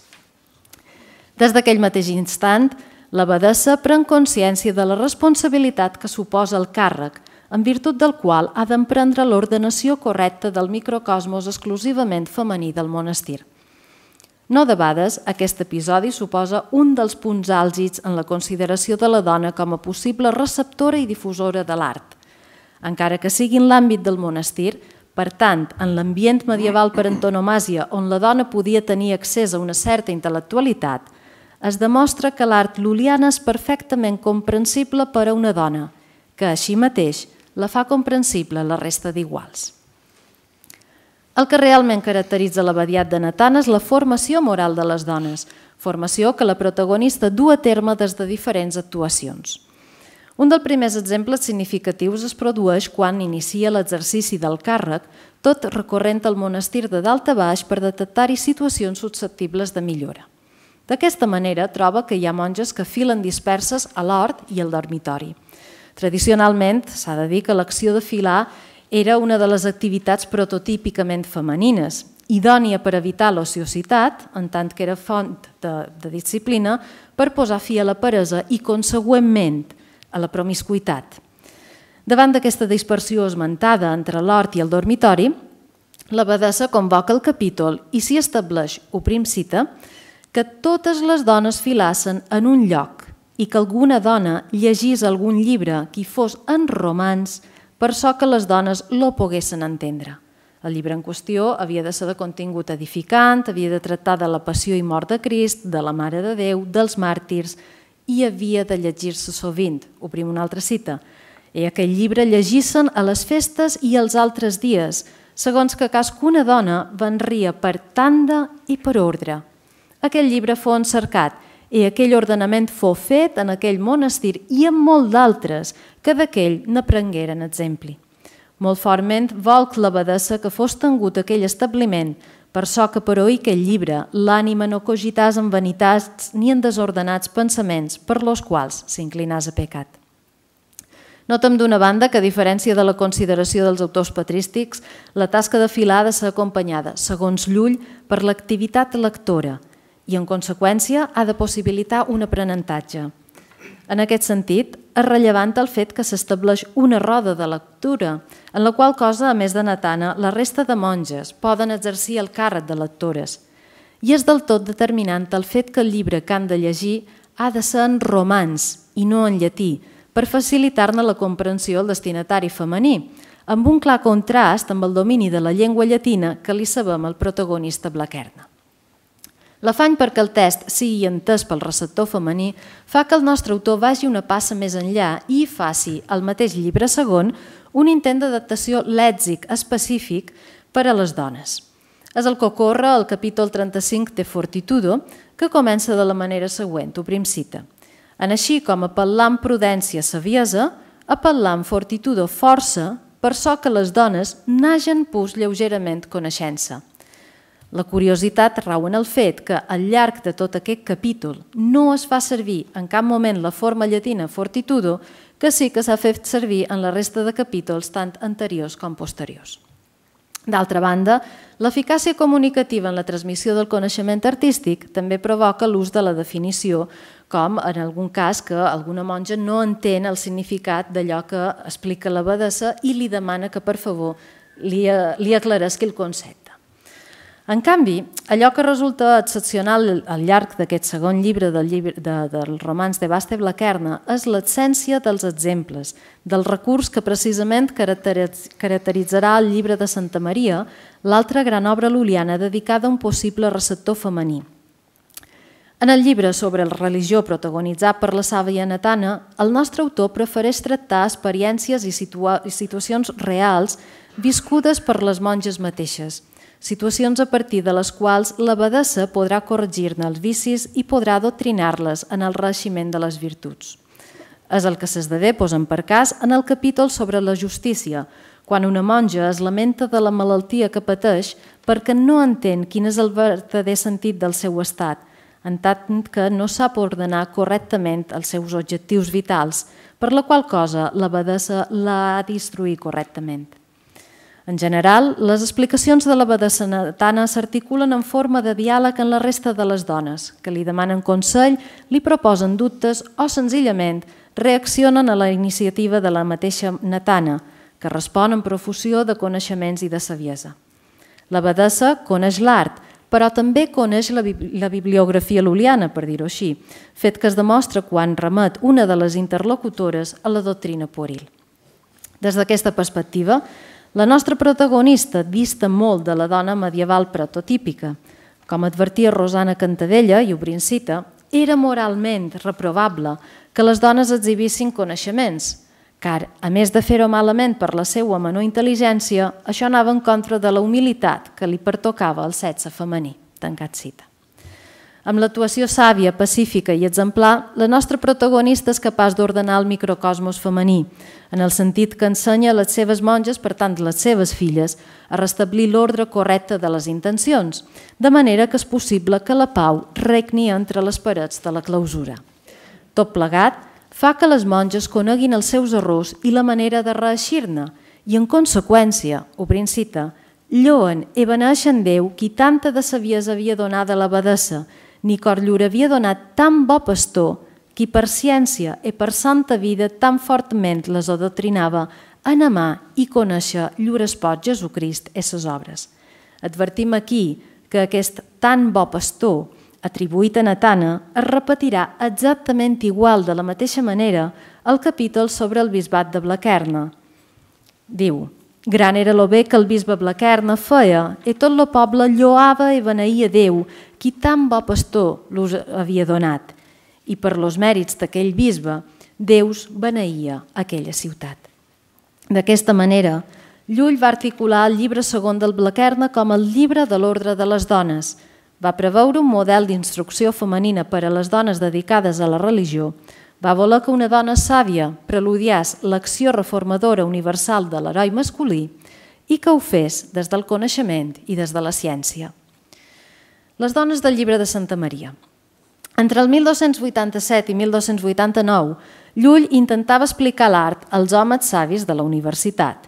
Intent fallit, com ens conta ell mateix a la vida de mestre Ramon de 1311, a causa de la feblesa de l'enteniment de l'elit universitària – els membres de la qual eren incapaços de copsar la complexitat formal de l'art. Entre 1290 i 1292, just després d'aquell fracàs i de la conseqüent reformulació estructural de l'art, Ramon Llull va redactar el llibre de Santa Maria, un tractat didàctic de contingut mariològic en el qual tres dames al·legòriques, l'ausó, oració i intenció, dialoguen primer amb un ermità barrut i després amb un de savi sobre el desordenament del món. Ja al 1900, Mateu Obrador havia advertit que la particularitat d'aquesta obra reia en el fet que Llull pensava explícitament en un possible, però no únic, receptor femení, com s'explicita al pròleg, obrint cita. Car aquests llibres de nostra dona, e nostra dona és Regina, Verge i Dona, per això nos majorment feim aquest llibre Regines, Verges i Dones o honor de nostra dona i la major explanació que podem i en les pus desplanades paraules lo lliuram e subtilitats esquivam ai tant quan podem per so que s'hi entès. En però, en partida, l'art i la doctrina de l'art demostrativa, inventiva i amativa tenim. La dedicatòria regines, verges i dones defineix l'abast global que té l'obra, l'objectiu del qual és clarament didàctic i devocional. El llibre de Santa Maria està pensat per a les dones de tots els estaments, per la qual cosa cal adaptar-ne el registre. Llull adverteix que serà clar i precís, desplenades paraules, que evitarà la complexa, la complexa terminologia artística i subtilitats esquivam, encara que se segueixin els principis de l'art, art demostrativa, inventiva i amativa.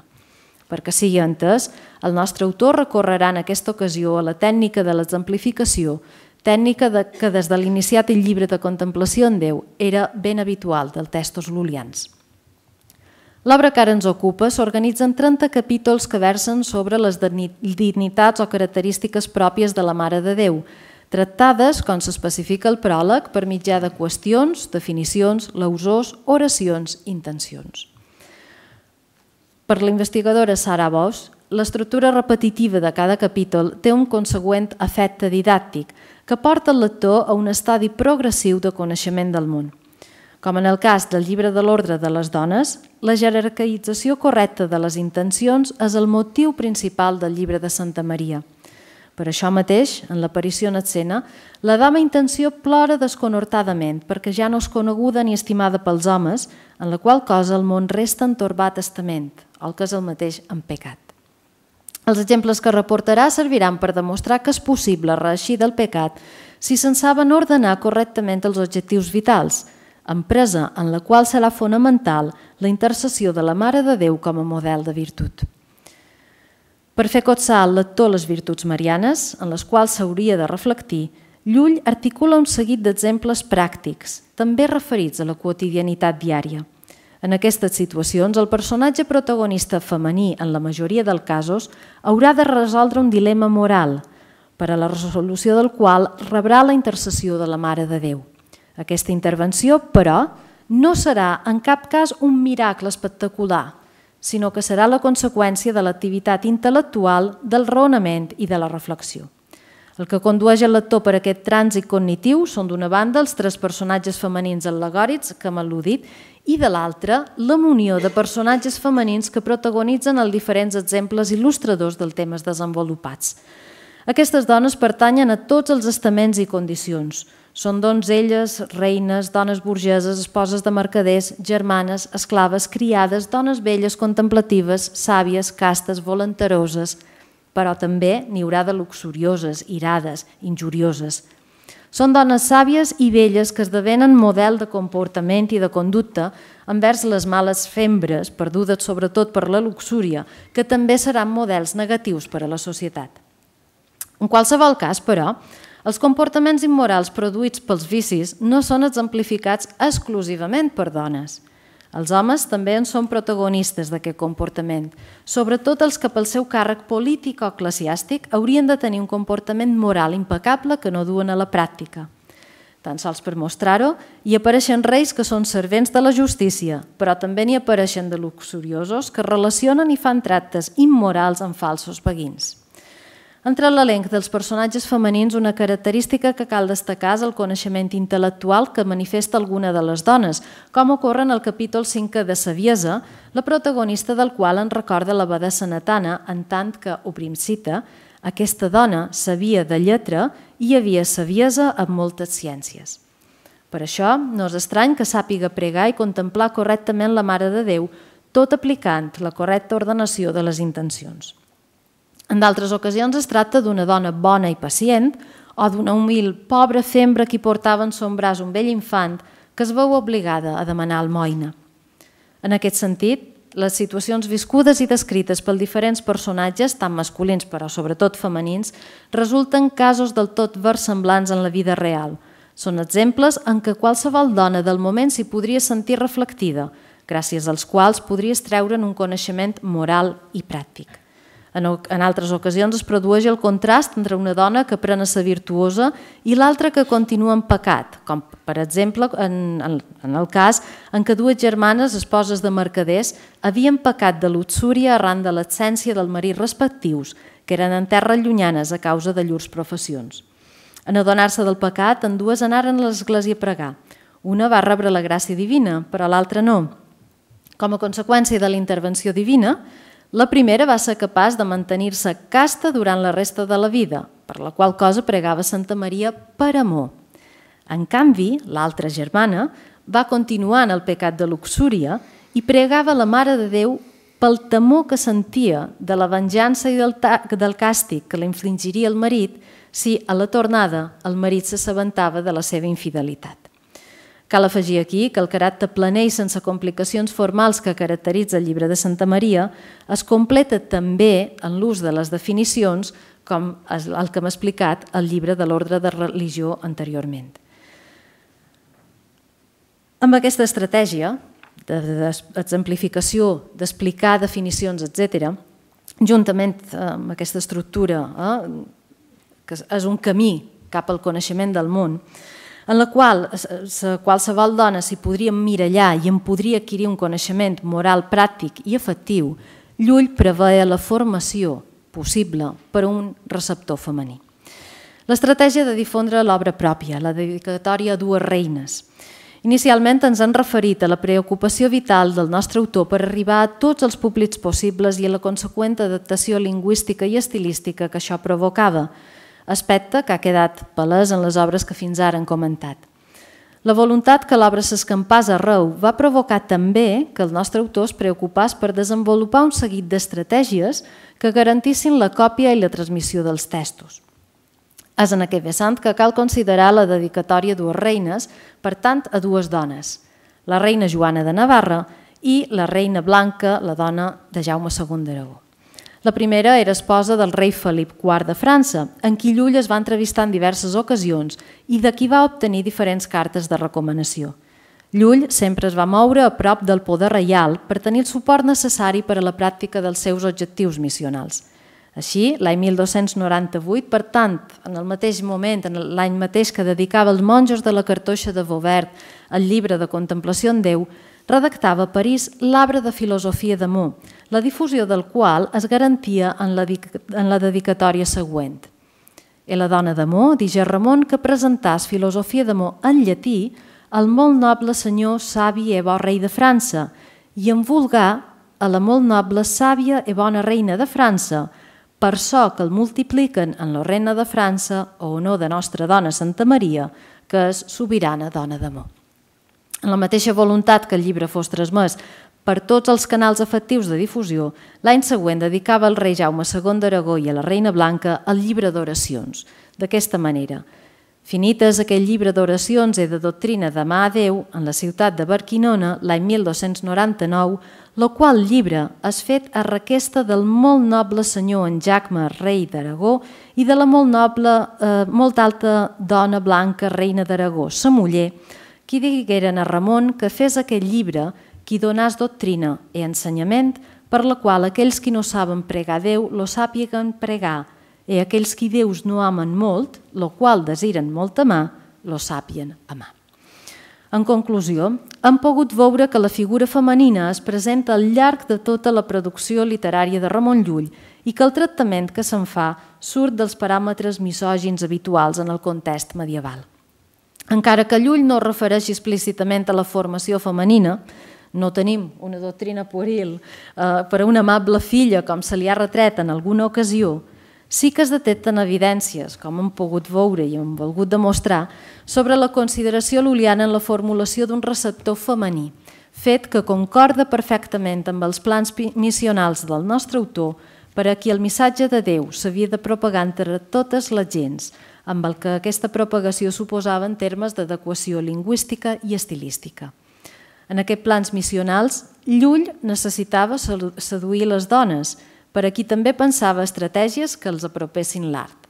En definitiva, que la dona sigui en la ficció literària receptora potencial de l'art suposa que Llull li reconeixia obertament la capacitat que podia tenir per assolir el coneixement i la podia convertir igualment en transmissora i difusora d'aquesta art, d'aquesta tècnica. I això és el que fa de Ramon Llull, malgrat algunes pinzellades que encara lliguen a la tradició, un autor original i excèntric en el sentit etimològic del món en el context medieval europeu. Moltes gràcies.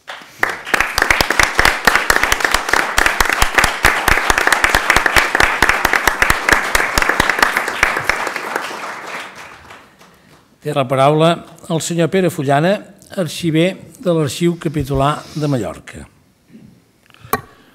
Moltíssimes gràcies, bones tardes a tots eh, agrair en primer lloc eh, aquesta, aquesta oportunitat, primer de, de repensar coses i segon aquesta oportunitat de poder-les expressar i contrastar i a la vegada eh, afegim eh, allò que ha estat la presentació inicial del senyor Jaume de Puig quan presentava el llibre de vida i obra de Llull, és dir, aquest llibre eh, parla de dues coses. Parla de Llull, però parla també del nostre temps, en la mesura que és un llibre de 2000, 2016, i per tant parla de les nostres inquietuds, d'allò que prioritzam, d'allò que entenem, explica, eh, mirant el passat, però explica el nostre temps, o pot servir per explicar el nostre temps.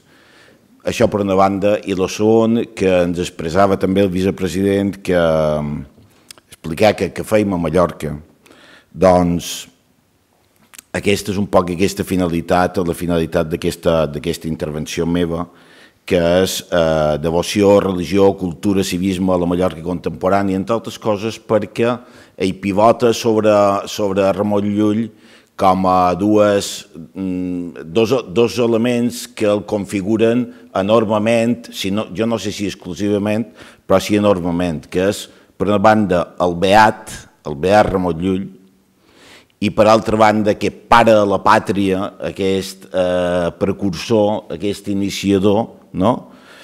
eh, que fa que, eh, sobretot a la modernitat i a partir de la, de la Renaixença, li reconeixem aquest paper eh, i li atorgam culturalment aquest paper en un moment en què eh, la religió sembla ja no tenir l'exclusiva de, eh, del discurs sinó que l'ha de compartir amb una societat civil, amb una societat secularitzada, amb una cultura eh, de consens. I aleshores me plantejaré aquesta qüestió, és dir, com arribam en el dia d'avui, i en tercer lloc, eh, per mi és, especialment plaent fer-ho aquí precisament perquè aquells que varen viure el sisè centenari de la mort de Ramon Llull van ser els pares, també en certa manera, d'aquesta institució, i aleshores eh, també reconeixent a una generació que, que, va, que va voler eh, entorn a Llull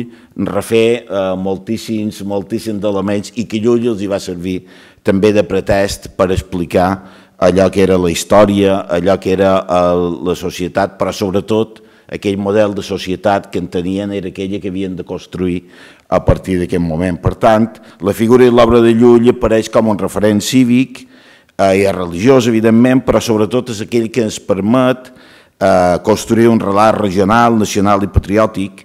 Desapareix aquella eh, religiositat, eh, diguem el món de la pietat que havia suposat eh, tot el barroc, per tant, des de Trento fins a final del, del 18, doncs, mm, aquest pietisme i aquesta Europa dels devots, en realitat, eh, sabem com s'expressava, però no sabem molt bé com, com la vivíem, és dir, era una societat molt cultualitzada, individus de molt de culte, però no, no sabem exactament quin grau de profunditat i quin grau d'interiorització tenia tot aquest, aquest culte, però certament aquesta religiositat no és la nostra, i en qualsevol cas sí que veiem que a final, ja la darreria del segle XIX, Llull també és eh, aquell eh, l'eix de, teòric i de referència del moviment catòlic, però també del pensament reformista burgès, i per tant, en certa manera, si hi ha un fil en comú en aquestes dues grans cultures que en altres aspectes doncs, eh, viuran dins una gran confrontació entre confessionalisme i laïcisme o, o clericalisme, anticlericalisme, Llull sobrepassa aquest debat eh, amb escreix i jo diria que, que l'espai cívic i l'espai intangible que Llull ocupa en el, en el relat de la modernitat sobrepassa clarament eh, l'univers eh, religiós per a ser un relat diferent a, a la resta i mm, notem eh, la secularització ni el laïcisme i sobretot perquè Llull esdevé, eh, jo penso que un element de consens i per tant és compatible una certa religió eh, confessional amb una certa religió civil i amb un cert eh, pensament i una certa cultura, entre altres coses perquè eh, doncs ho veiem en aquesta figura i el veiem en aquesta, en aquesta entrada a la modernitat, no només des de Mallorca, sinó d'allò que configura eh, el nostre món cultural, aquesta ecumene eh, cultural catalana que, que compartim. Evidentment, eh, jo me centraré com en dues parts molt elementals, Ramon Llull aquest pas d'aquesta devoció eh, confessional a una, el que jo entenc com a religió civil, eh, que és una que és la solució moderna, religió i, eh, eh, i societat civil, però eh, no poden deixar de banda la història, és a dir, és bé que parlam molt d'universitat, que parlam molt de París, que parlam de pensament, que parlam, eh, però en el final, en el final, allò que resta dins l'imaginari, dins l'univers eh, col·lectiu a final del 18, és que Ramon Llull és defensat per una determinada escola, que és l'escola escotista, l'escola franciscana, i no per altres. Eh? És a dir, que la universitat no és una universitat plural, sinó que són càtedres universitàries i que les universitats no els podem entendre, la Universitat de Sant Règim,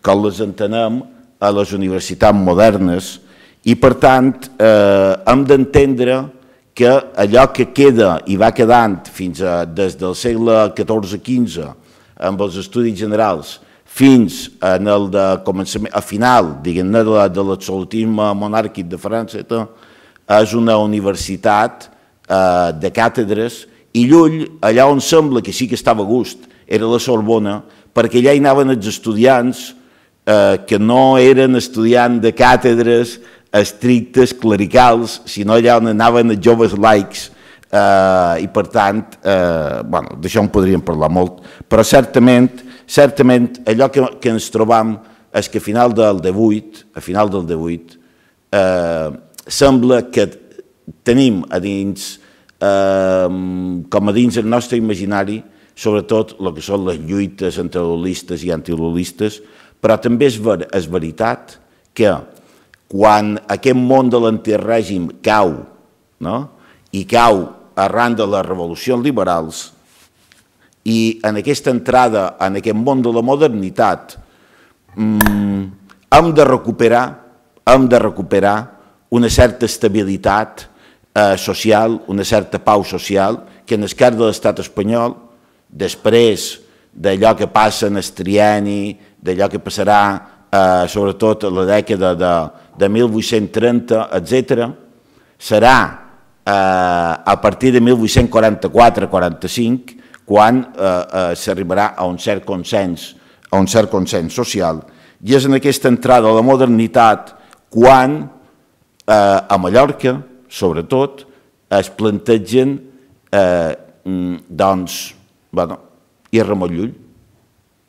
Quin és el paper de Ramon Llull? Tantes coses, perquè aquell model de que era l'antiga Universitat de Palma, l'antiga Universitat de Mallorca, la que tenia cura de, del culte a Llull, juntament amb un culte que executava l'ordre franciscà, ni existeix l'ordre franciscà perquè ha estat desamortitzat i esclustat els seus religiosos, ni existeix aquell model d'ajuntament, ha nascut un nou ajuntament, un ajuntament que, eh, que està creant eh, un nou paradigma de, de, de, de gestió a lo públic i és a partir de 1845 pràcticament quan comença aquest model i quan se restaura es culte a Ramon Llull.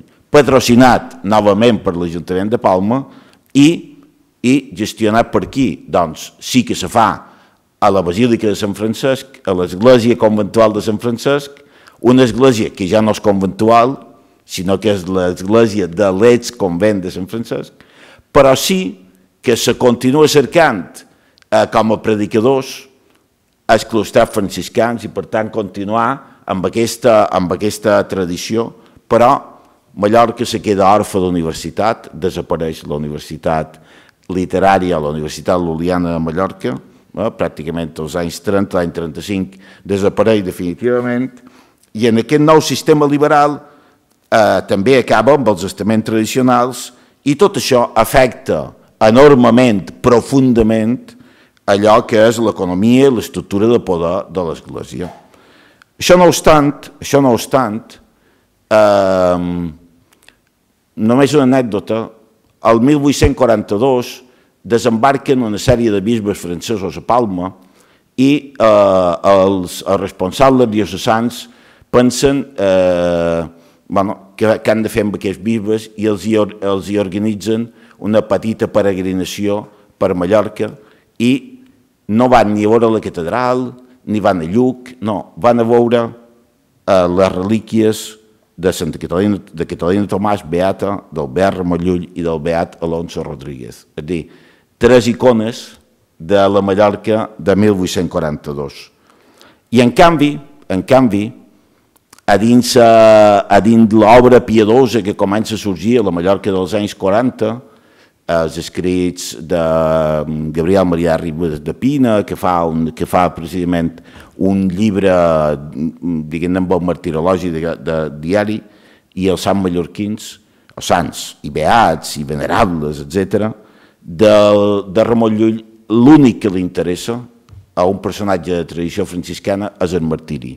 Ni les seves obres, ni el seu pensament, a dins el pensament, diguem-ne, més tradicional del moment, però a partir de 1843 i sobretot fins a l'any 1868 sí que Llull esdevé un element de consens, com han dit, entre les diferents cultures polítiques dominants i l'Església. I amb això sí que hi ha consens. Els diaris eh, liberal moderats i els diaris liberal progressistes anuncien eh, d'una manera molt solemne i amb molt d'èmfasi i amb molt de ressò cada any la commemoració de la festa de Ramon Llull i eh, tant el diari de Palma com el Genio de la Libertad, que són dos diaris que estan molt enfrontats, en això sí que tenen consens respecte, evidentment, il·luminant matisos diferents de la figura de Llull, però sí que al llarg del D9 eh, a nivell, eh, ho podem seguir a través de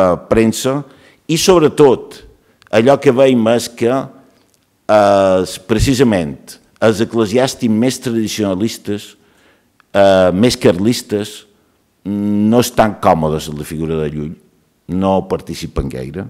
En canvi, són els clergues més oberts, més progressistes, aquells que han estat o continuen estant els projectes de, de reforma a la universitat, aquella reforma que s'intenta a d'estrianis parterista, que no arriba a compte, però sobretot no deixa de ser curiós que Jeroni Bibiloni, autor de Cristianos Socialistes i, i autor d'aquell primer programa de, de, de socialisme utòpic, sigui el primer predicador de, a la restauració de la festa de Ramon Llull, eh, en tota la simbologia que tenia d'un esclaustrat clarament identificat amb una idea, eh, diguem-ne, progressista i oberta, però sobretot són els neocatòlics, eh, Balmes, Quadrado, etc., aquells que se postulen clarament favorables eh, a Llull, de tal manera que quan arribarà el sexeni, l'any 1968, se troben amb un problema i és que els catòlics se volen apropiar Llull i la, i, i la societat civil i sobretot els sectors més radicals,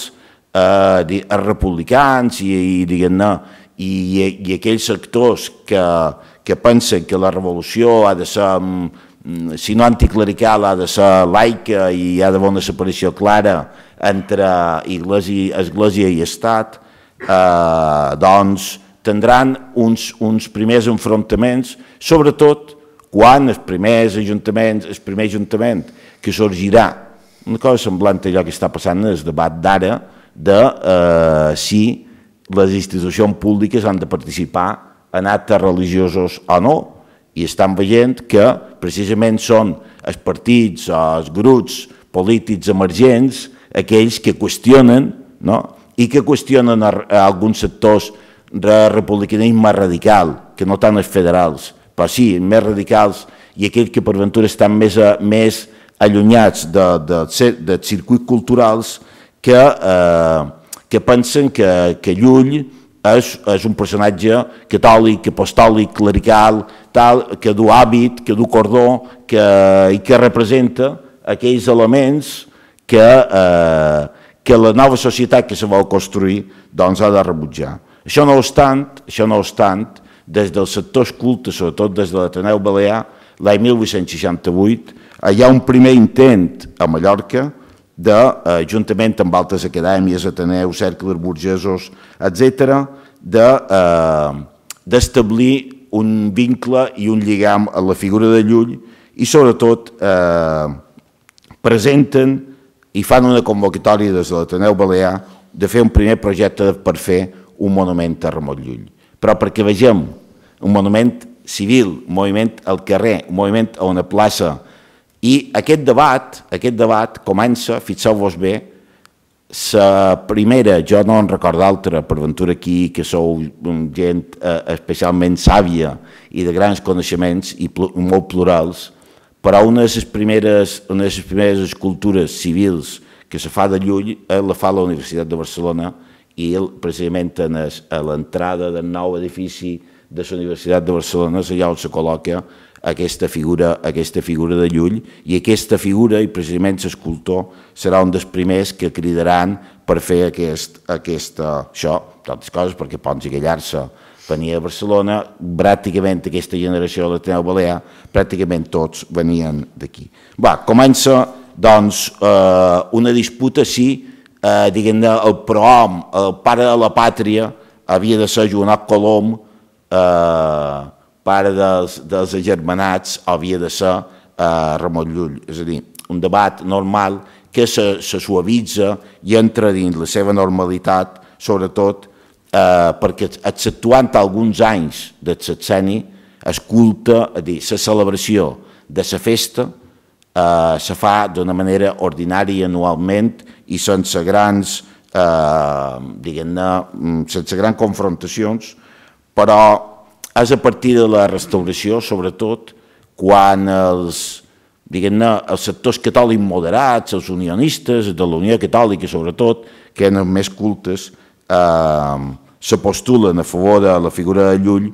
I també, fixeu-vos bé, Mateu Obrador, que ha sortit citat aquí, que estudia molt bé a Mari de Ripoll, eh, Geroni Rosselló, bueno, són, són els primers lulistes que comencen a estudiar i a fer la sobrecrítica de, de Llull eh, provenen del món de l'institucionalisme i han estat els pares precisament del liberalisme, del liberalisme culte i no són precisament eh, individus que vinculats en el món del confessionalisme, però a més a tall d'anècdota, eh, Marcelino Menéndez Pelayo, quan l'any 1884 eh, diguem-ne, va encapçalar la llista dir, com a membre de la Unió Catòlica a les eleccions eh, per a diputat a Corts a Madrid pel Partit Conservador, Liberal Conservador de Cánovas del Castillo, eh, compta les seves cartes que va dir en els seus socis mallorquins i jo que he de fer a Palma si he d'anar.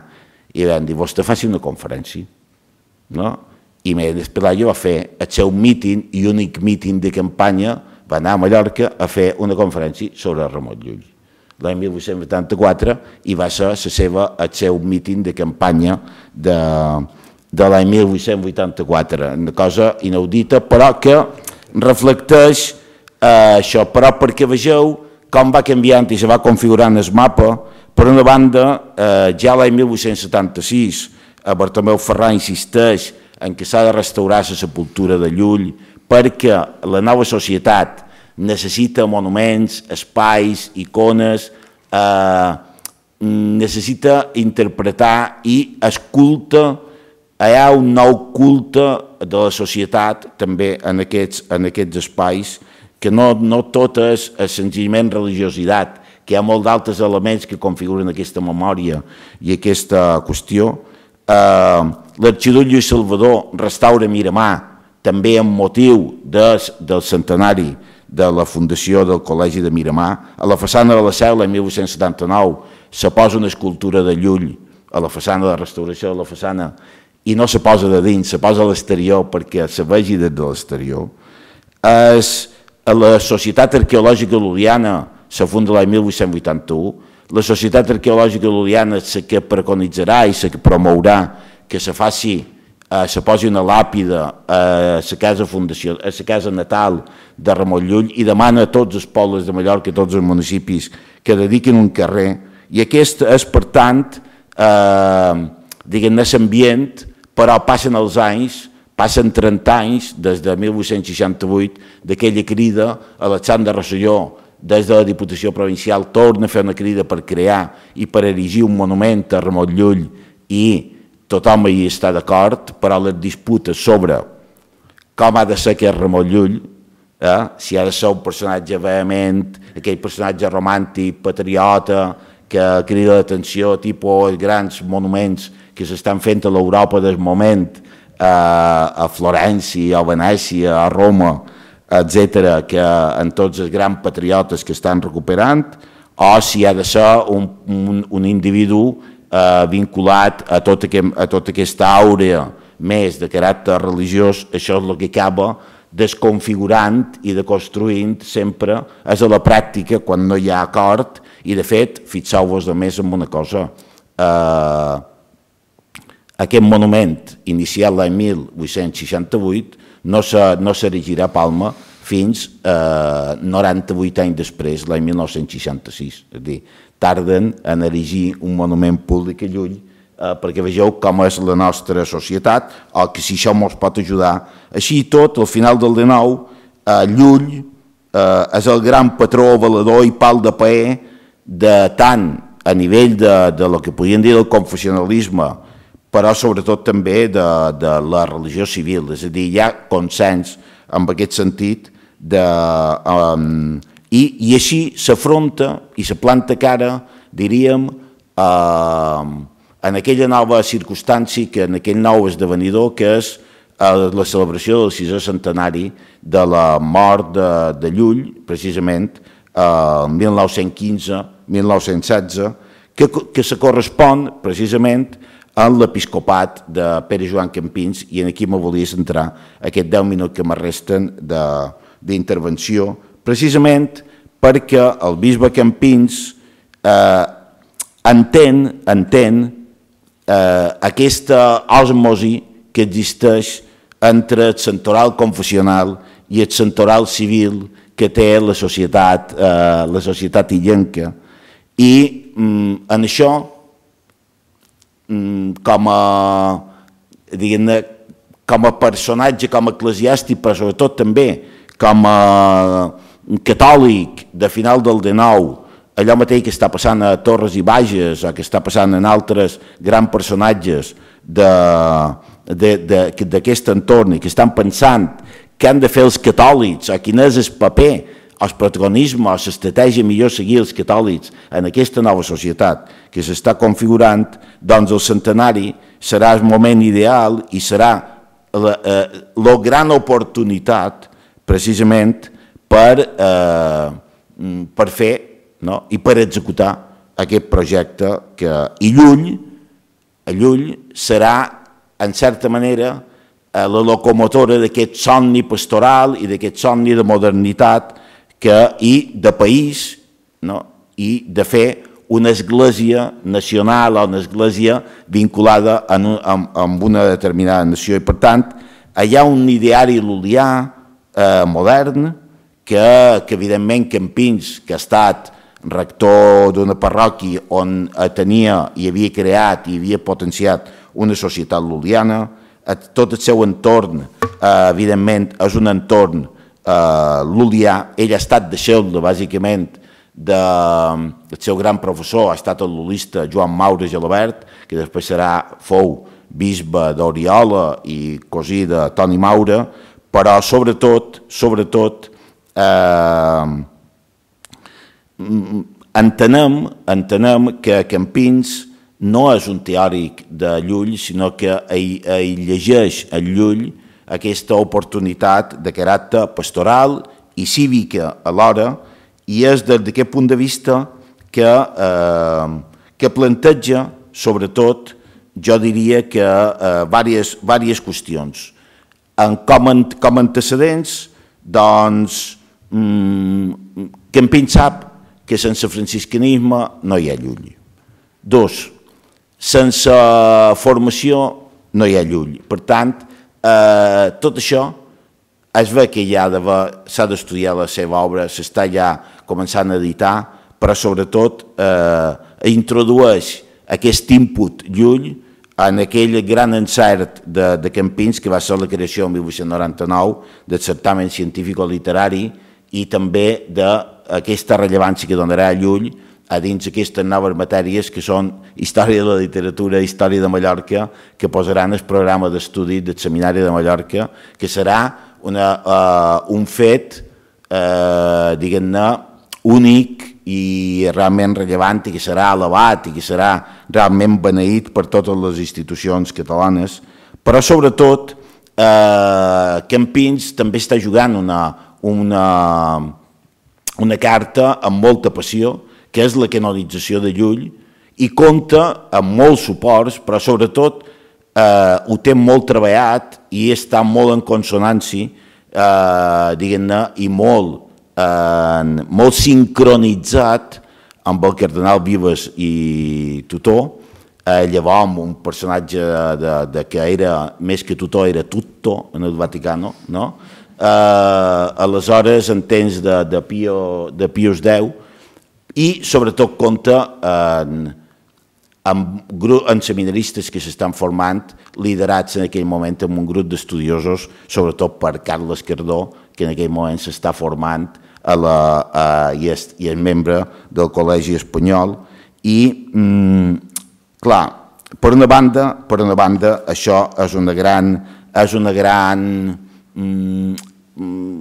base que li, que li permetrà a Campins per plantejar dues grans qüestions. I les dues grans qüestions que planteja Campins des del món eclesial i des del món de l'Església és, eh, per una banda, que aquest moment, que aquest moment eh, acabar d'arrodonir el seu projecte pastoral. I passa per ell ha reformat el santuari de Lluc i el santuari marià, i l'ha posat a l'alçada de lo que és un centre de devoció popular, mariana i de país. Eh? És a dir, ha fet, ha recuperat eh, tots aquells components de que, eh, que els seus homònims eh, han fet amb, amb Montserrat, una diferència, que Campins no s'ha anat a ordenar a bisbe a Montserrat, com havia fet Torres i Bages, sinó que se'n va a Madrid. Això és una de les seves... No? I, i, i se posa les ordres del poder perquè allà en Maura, mentre que Torres i Bages va a Montserrat i se posa a unes altres ordres espirituals i hi ha una certa diferència que també la vull marcar. Eh? Però a dins eh, aquestes dues grans qüestions jo diria que hi ha, per una banda, restaurar la pietat eh, entorn a la figura de Llull i això passa perquè quin és el moment eh, essencial en la vida de Llull? La conversió. Per tant, la conversió de Llull serà una segona festa que a la commemoració de la mort, que en principi se celebrava en el juliol, dia 3, dia 4 de juliol, després ara se celebra dia 27 de novembre, però hi afegeixen la conversió dia 25 de gener, el dia de la conversió de Sant Pau, també se celebra la conversió de Llull i ell publica, de fet, la carta pastoral del centenari de, de, del sisè centenari dia 25 de gener de 1915, és a dir, tres setmanes abans de la seva mort. I això serà també contundent de cara en el fracàs de la seva obra. Però què, què pensa? Convertir cura, restaurar la pietat en aquell indret i, per tant, recuperar cura santuari de Randa, es, es Puy de Randa, com a santuari lulià de Mallorca. Puy de Randa no, és, no pertany a un municipi, no és un santuari de caràcter local, ni municipal, ni regional. És un santuari per Mallorca i és un santuari no dedicat a la Mare de Déu, sinó dedicat en aquest sant que és Llull i precisament perquè allà ha d'irradiar precisament aquest, eh, aquest flaire i aquesta ja de servir d'expansió, no? Precisament perquè eh, si mm, en certa manera això és solament, solament que dalt i allò que, que va dir eh, Costa i Llobera precisament quan se va posar eh, la primera pedra del gran projecte de Campins, un projecte que no s'ha arribat a fer mai, i era convertir eh, Cura en un gran santuari per tant un santuari eh, de, nova, de, de nova creació, amb una gran basílica, amb una gran esplanada eh, que pogués recepcionar peregrins, amb una nova carretera, no?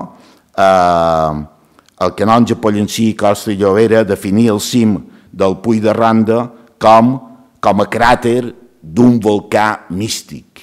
És a dir, d'allà havia de sortir tot, aquesta, tot aquest clima aquest volcànic d'aquesta mística i transformar la mita d'Oliana i la capella de la Mare Déu de Cura en, en, un, en un gran santuari i un santuari de referència pel món i per Mallorca, però sobretot, clar, era eh, centrar.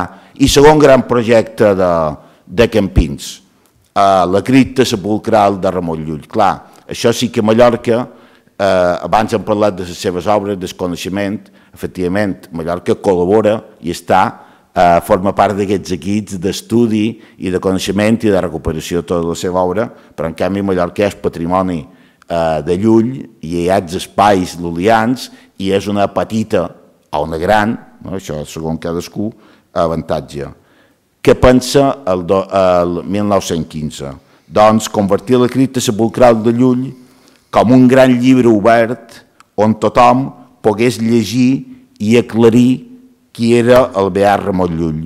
Per tant, eh, i això ho defineix precisament a la carta, a la carta pastoral de 25 de gener de 1915, que passa que ell mor, es cap de tres setmanes, i com a, podeu llegir en, un, en el sermó que, que va fer mossèn Antoni Maria Alcover a l'octubre de 1915, dir, quan ja feia aquests mesos que havia mort el bisbe Campins i que, ell, i que el Covera, vicari general, vicari capitular, seu vacant, i que ha publicat el doctor eh, Nicolau Dols, aquí present, eh, doncs eh, em recorda molt bé, recordava molt bé, eh, i avui que hi ha també aquí eh, mossèn Teodor Suau eh, ho entendrà molt bé això, perquè de, va dir el Cover, quan va passar la primera pedra, diu, així volien, diu, menjar el bisbe Campins aquesta cripta.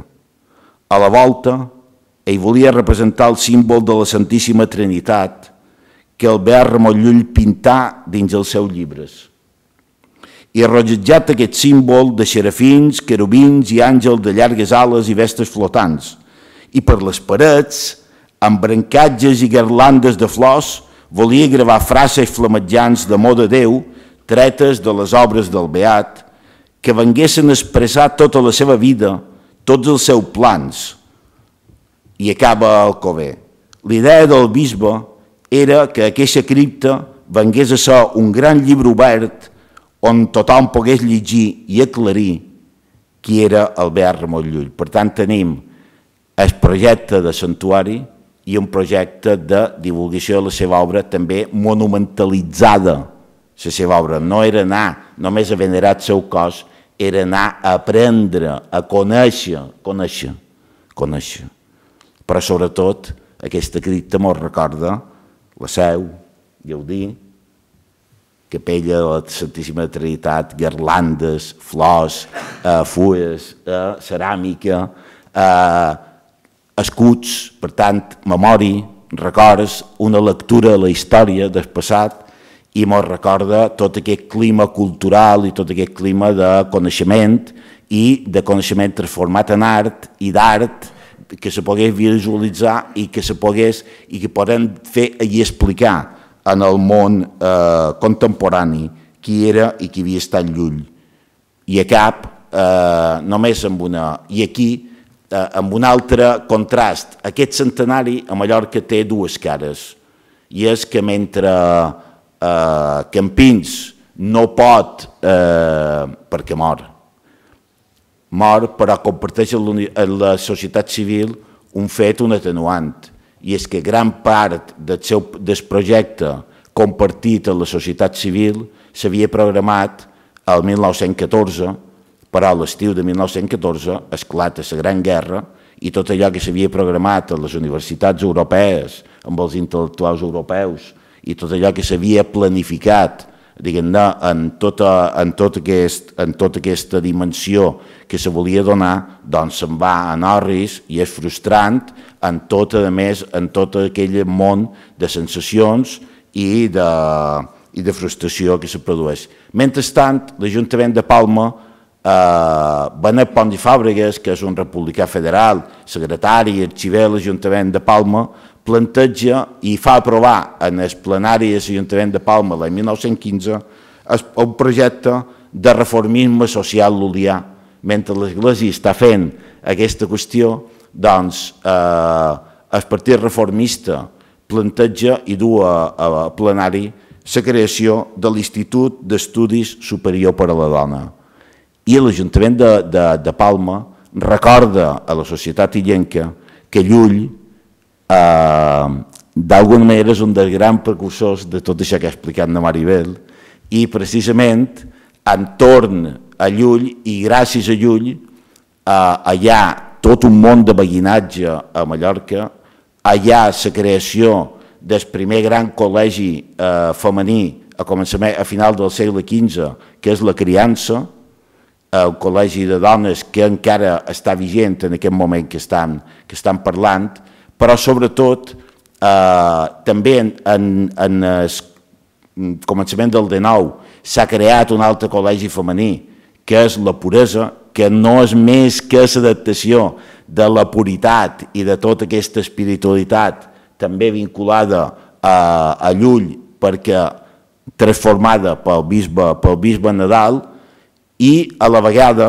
a la vegada tot això se, se substancia amb una idea, amb una idea de crear una, unes propostes de feminisme reformista entorn a la figura de... Hi ha, unes, hi ha una sèrie de conferències de Benet Pons Fàbregas el 1915 sobre dona i sobre Ramon Llull com a apòstol d'amor, etc que, eh, que parlen d'una societat, que parlen d'una Mallorca dinàmica, d'un projectes culturals realment sòlids, exportables, eh, moderns, eh, rics i d'una Mallorca que, eh, que en certa manera, i sense nostàlgia, evidentment, però que dit aquí de dins, eh, en aquest espai, eh, a mi, eh, jo el dic amb molt de gust, és dir, és descobrir que, aquest, aquest, que, que Llull, Llull, per ventura, ha estat d'aquest gran referents i continua sent un dels referents que per sort tenim, a Mallorca en tenim eh, aquella dosi, aquella, en tenim una cert, un cert secret, eh, en Teodor parlava de misteri, eh, nosaltres en continuem tenint eh, una part que és aquella que, mos, que ens permet anar pel món dialogant i participant i fent part d'aquesta cultura comuna i d'aquesta cultura plural, però també d'aquesta cultura universal de la qual parla Llull. Moltíssimes gràcies. Molt bé. Molt bé. Moltes gràcies, Pere Fullana. Moltes gràcies, Maribel Ripoll. Moltes gràcies, Teodor Suau, perquè el que us havien demanat s'ha complert. Hem vist com es planteja, és dir, com ha viscut Mallorca el fet Llull, i crec que tots hem après, almenys jo, eh, he après tot, perquè no sabia res de tot això que, que s'ha explicat, perquè nosaltres en aquí tenim unes altres vivències no? d'un altre, altre tipus i que són coincidents, però em sembla que des del punt de vista de tot el que ha quedat pendent a Mallorca, com que ara faran sant a Llull, es plantejarà la possibilitat de tornar a plantejar alguns dels projectes que hi havien hagut. I per altra banda, em sembla que heu posat eh, eh, molt d'evidència que parlar avui dia de Llull és parlar de problemes actuals. I obrim un torn de paraules per si algú vol eh, aclarir, participar, enriquir el debat o rebatre alguna de les coses que aquí s'han dit. Hi ha un... Sí, una paraula demanada.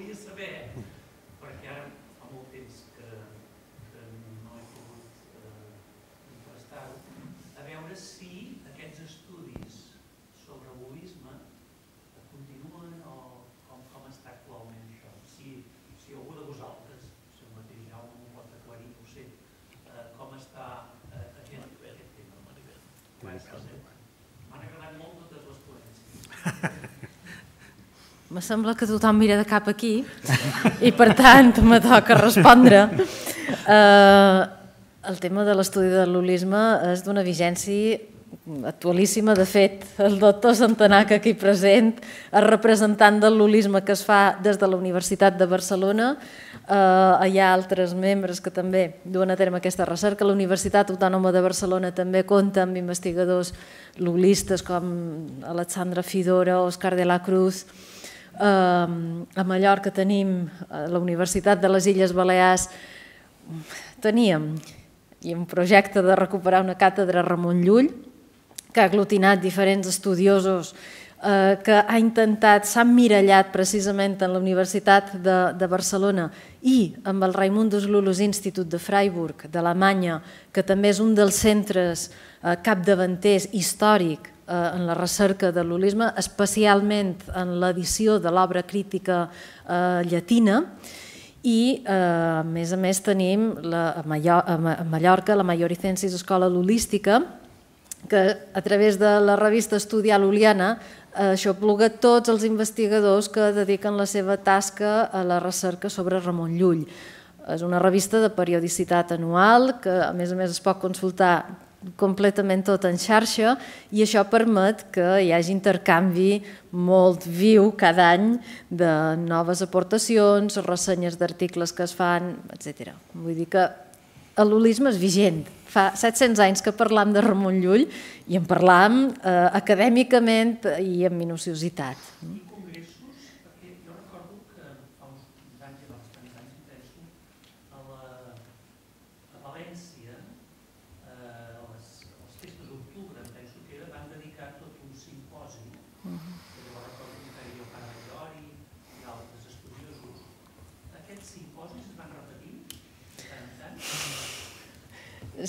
A, a veure, sí, sí, sí, sí, sí. No, a, a València m'oblidava i és de rigor dir que tenim també investigadors a la Universitat de València que duen a terme eh, recerques importants sobre Llull.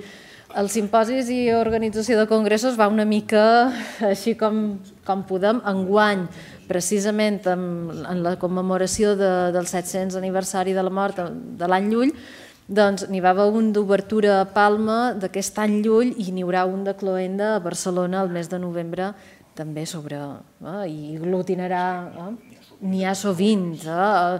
en recordo una Sicília fa poc, bé, hi ha diferents convocatòries, a Freiburg, a Bochum, a Palma mateix varen fer dues eh, jornades internacionals, vull dir que, que sí, que intentam posar-nos al dia també en aquest sentit.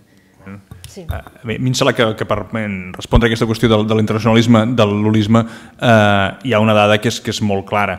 Eh, Ramon Llull és l'autor eh, diguem del domini lingüístic català que genera més bibliografia eh, actualment.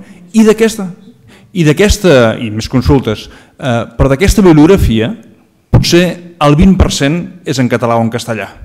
La internacionalitat de, de Ramon Llull i, de, i dels estudiosos de Ramon Llull és espectacular. Eh?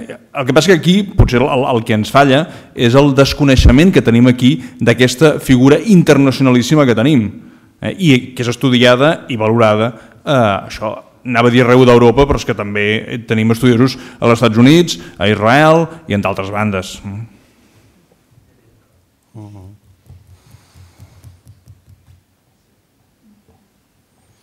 Alguna altra intervenció?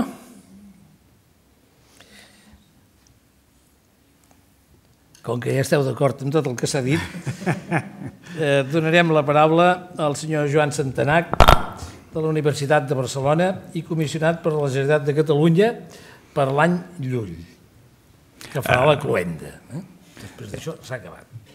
Uh, moltes gràcies. Com que ja fa molta estona, doncs mirarem de ser, de ser breus, que agraïm moltíssim a l'IEC aquesta invitació uh, en aquest acte sobre Ramon Llull des de, des de Mallorca per parlar una mica d'aquestes relacions no sempre eh, fluides entre Catalunya i, i Mallorca. Doncs més, jo crec que ara, aquest moment, estem vivint un moment, gràcies als canvis polítics i a una seguit de, de voluntats, un moment dolç en aquestes relacions entre Catalunya i Mallorca en els dos últims dies, ahir i avui, de fet, eh, he viscut, jo personalment, és una tall d'anècdota, però que em sembla una anècdota que és representativa, eh, tres actes eh, vinculant a Catalunya i, i Mallorca. Ahir, a la, a la tarda, eh, la Maribel va presentar el seu llibret, el, el llibret per, per mida, no pas per contingut, eh, Ramon Llull, el viatger de la paraula, a la, a la llibreria Caldés, és una, va ser un acte de tipus bàsicament popular, intentant fer arribar eh, Ramon Llull a un públic ampli. Tenim el, el detall que ahir jugava al Barça i per tant la gent va preferir anar a veure el Barça que no pas eh, venir a escoltar la Maribel.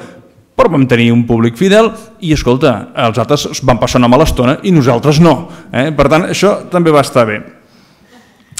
Aquest matí hem tingut un altre acte, de sentit bastant diferent, un, un, un acte de sentit institucional, una reunió, una reunió entre una delegació eh, mallorquina amb la consellera eh, de Cultura, en Jaume, en Jaume Gomila, que, que l'ha acompanyat, la Maribel, a la Conselleria de Cultura del govern català. I hem estat parlant de tot el seguit d'actes eh, que estem preveient i de la necessària, inevitable i del tot eh, imprescindible coordinació entre Catalunya eh, i Mallorca i les illes. I ha estat un seguit de projectes que acabarem concretant i que aniran, aniran molt bé. I finalment, eh, avui, estem tots aquí, en el tercer d'aquests actes, aquesta tarda. Aquesta vegada no és ni un acte popular per mirar de, de difondre llull, no és un acte probablement institucional, com ha estat aquest, aquest matí, sinó que és un acte acadèmic. Per tenim un ventall de possibilitats eh, bastant considerable. Eh, I a més a més hem assistit, jo crec, a un, a un, a un veritable miracle de vegades. Eh? Eh, tres, tres, tres ponències que en principi no havien tenir una, una gran relació entre elles, més enllà de la relació entre, o la referència a Mallorca, però, però hem acabat tenint, jo crec, un relat absolutament coherent. Hem començat, eh, en Teodor Suau ens ha parlat, ens ha fet un repàs biogràfic de Llull i s'ha fixat en dos aspectes clau eh, de la seva biografia, la conversió i la crisi de Gènova. Hem continuat amb la Maribel, que ens ha parlat de Llull i el seu eh, interès, el seu, el seu esforç per aconseguir que la, els auditoris arribessin als seus llibres. I ens ha parlat específicament de l'interès eh, de Llull perquè els auditoris femenins, el públic femení, s'acostés a la seva obra i eh, li aprofités aquesta obra. I finalment, ja passant una mica més enllà en, el, en els segles, eh, en, en, en Pere Fullana ens ha parlat de la recepció eh, de Llull especialment a partir del segle XIX, i de Llull com a personatge eh, de consens entre ideologies diverses. Personatge de consens que avui ens ha congregat aquesta tarda eh, aquí. Mm? Eh, espero que Llull continuï durant molt de temps congregant-nos a tots aquí. Espero que el moment dolç de relacions entre Catalunya i Mallorca es mantingui i espero fins i tot que algun dia no calgui fer eh, això de cridar els mallorquins perquè ens vinguin a explicar què fan, sinó que ja ho sapiguem directament i que no ens calgui doncs, una vinguda perquè sigui tot tan eh, àgil i normal, de manera que eh, no ens calgui fer actes específics de, de germanament. Eh, jo no vull avorrir-los més, ja prou que ens han explicat coses i per tant jo aquí simplement allargaria la qüestió. Per tant, si en Jaume de Puig eh, considera convenient, doncs donaríem per tancat l'acte. D'acord? Moltes gràcies a tots.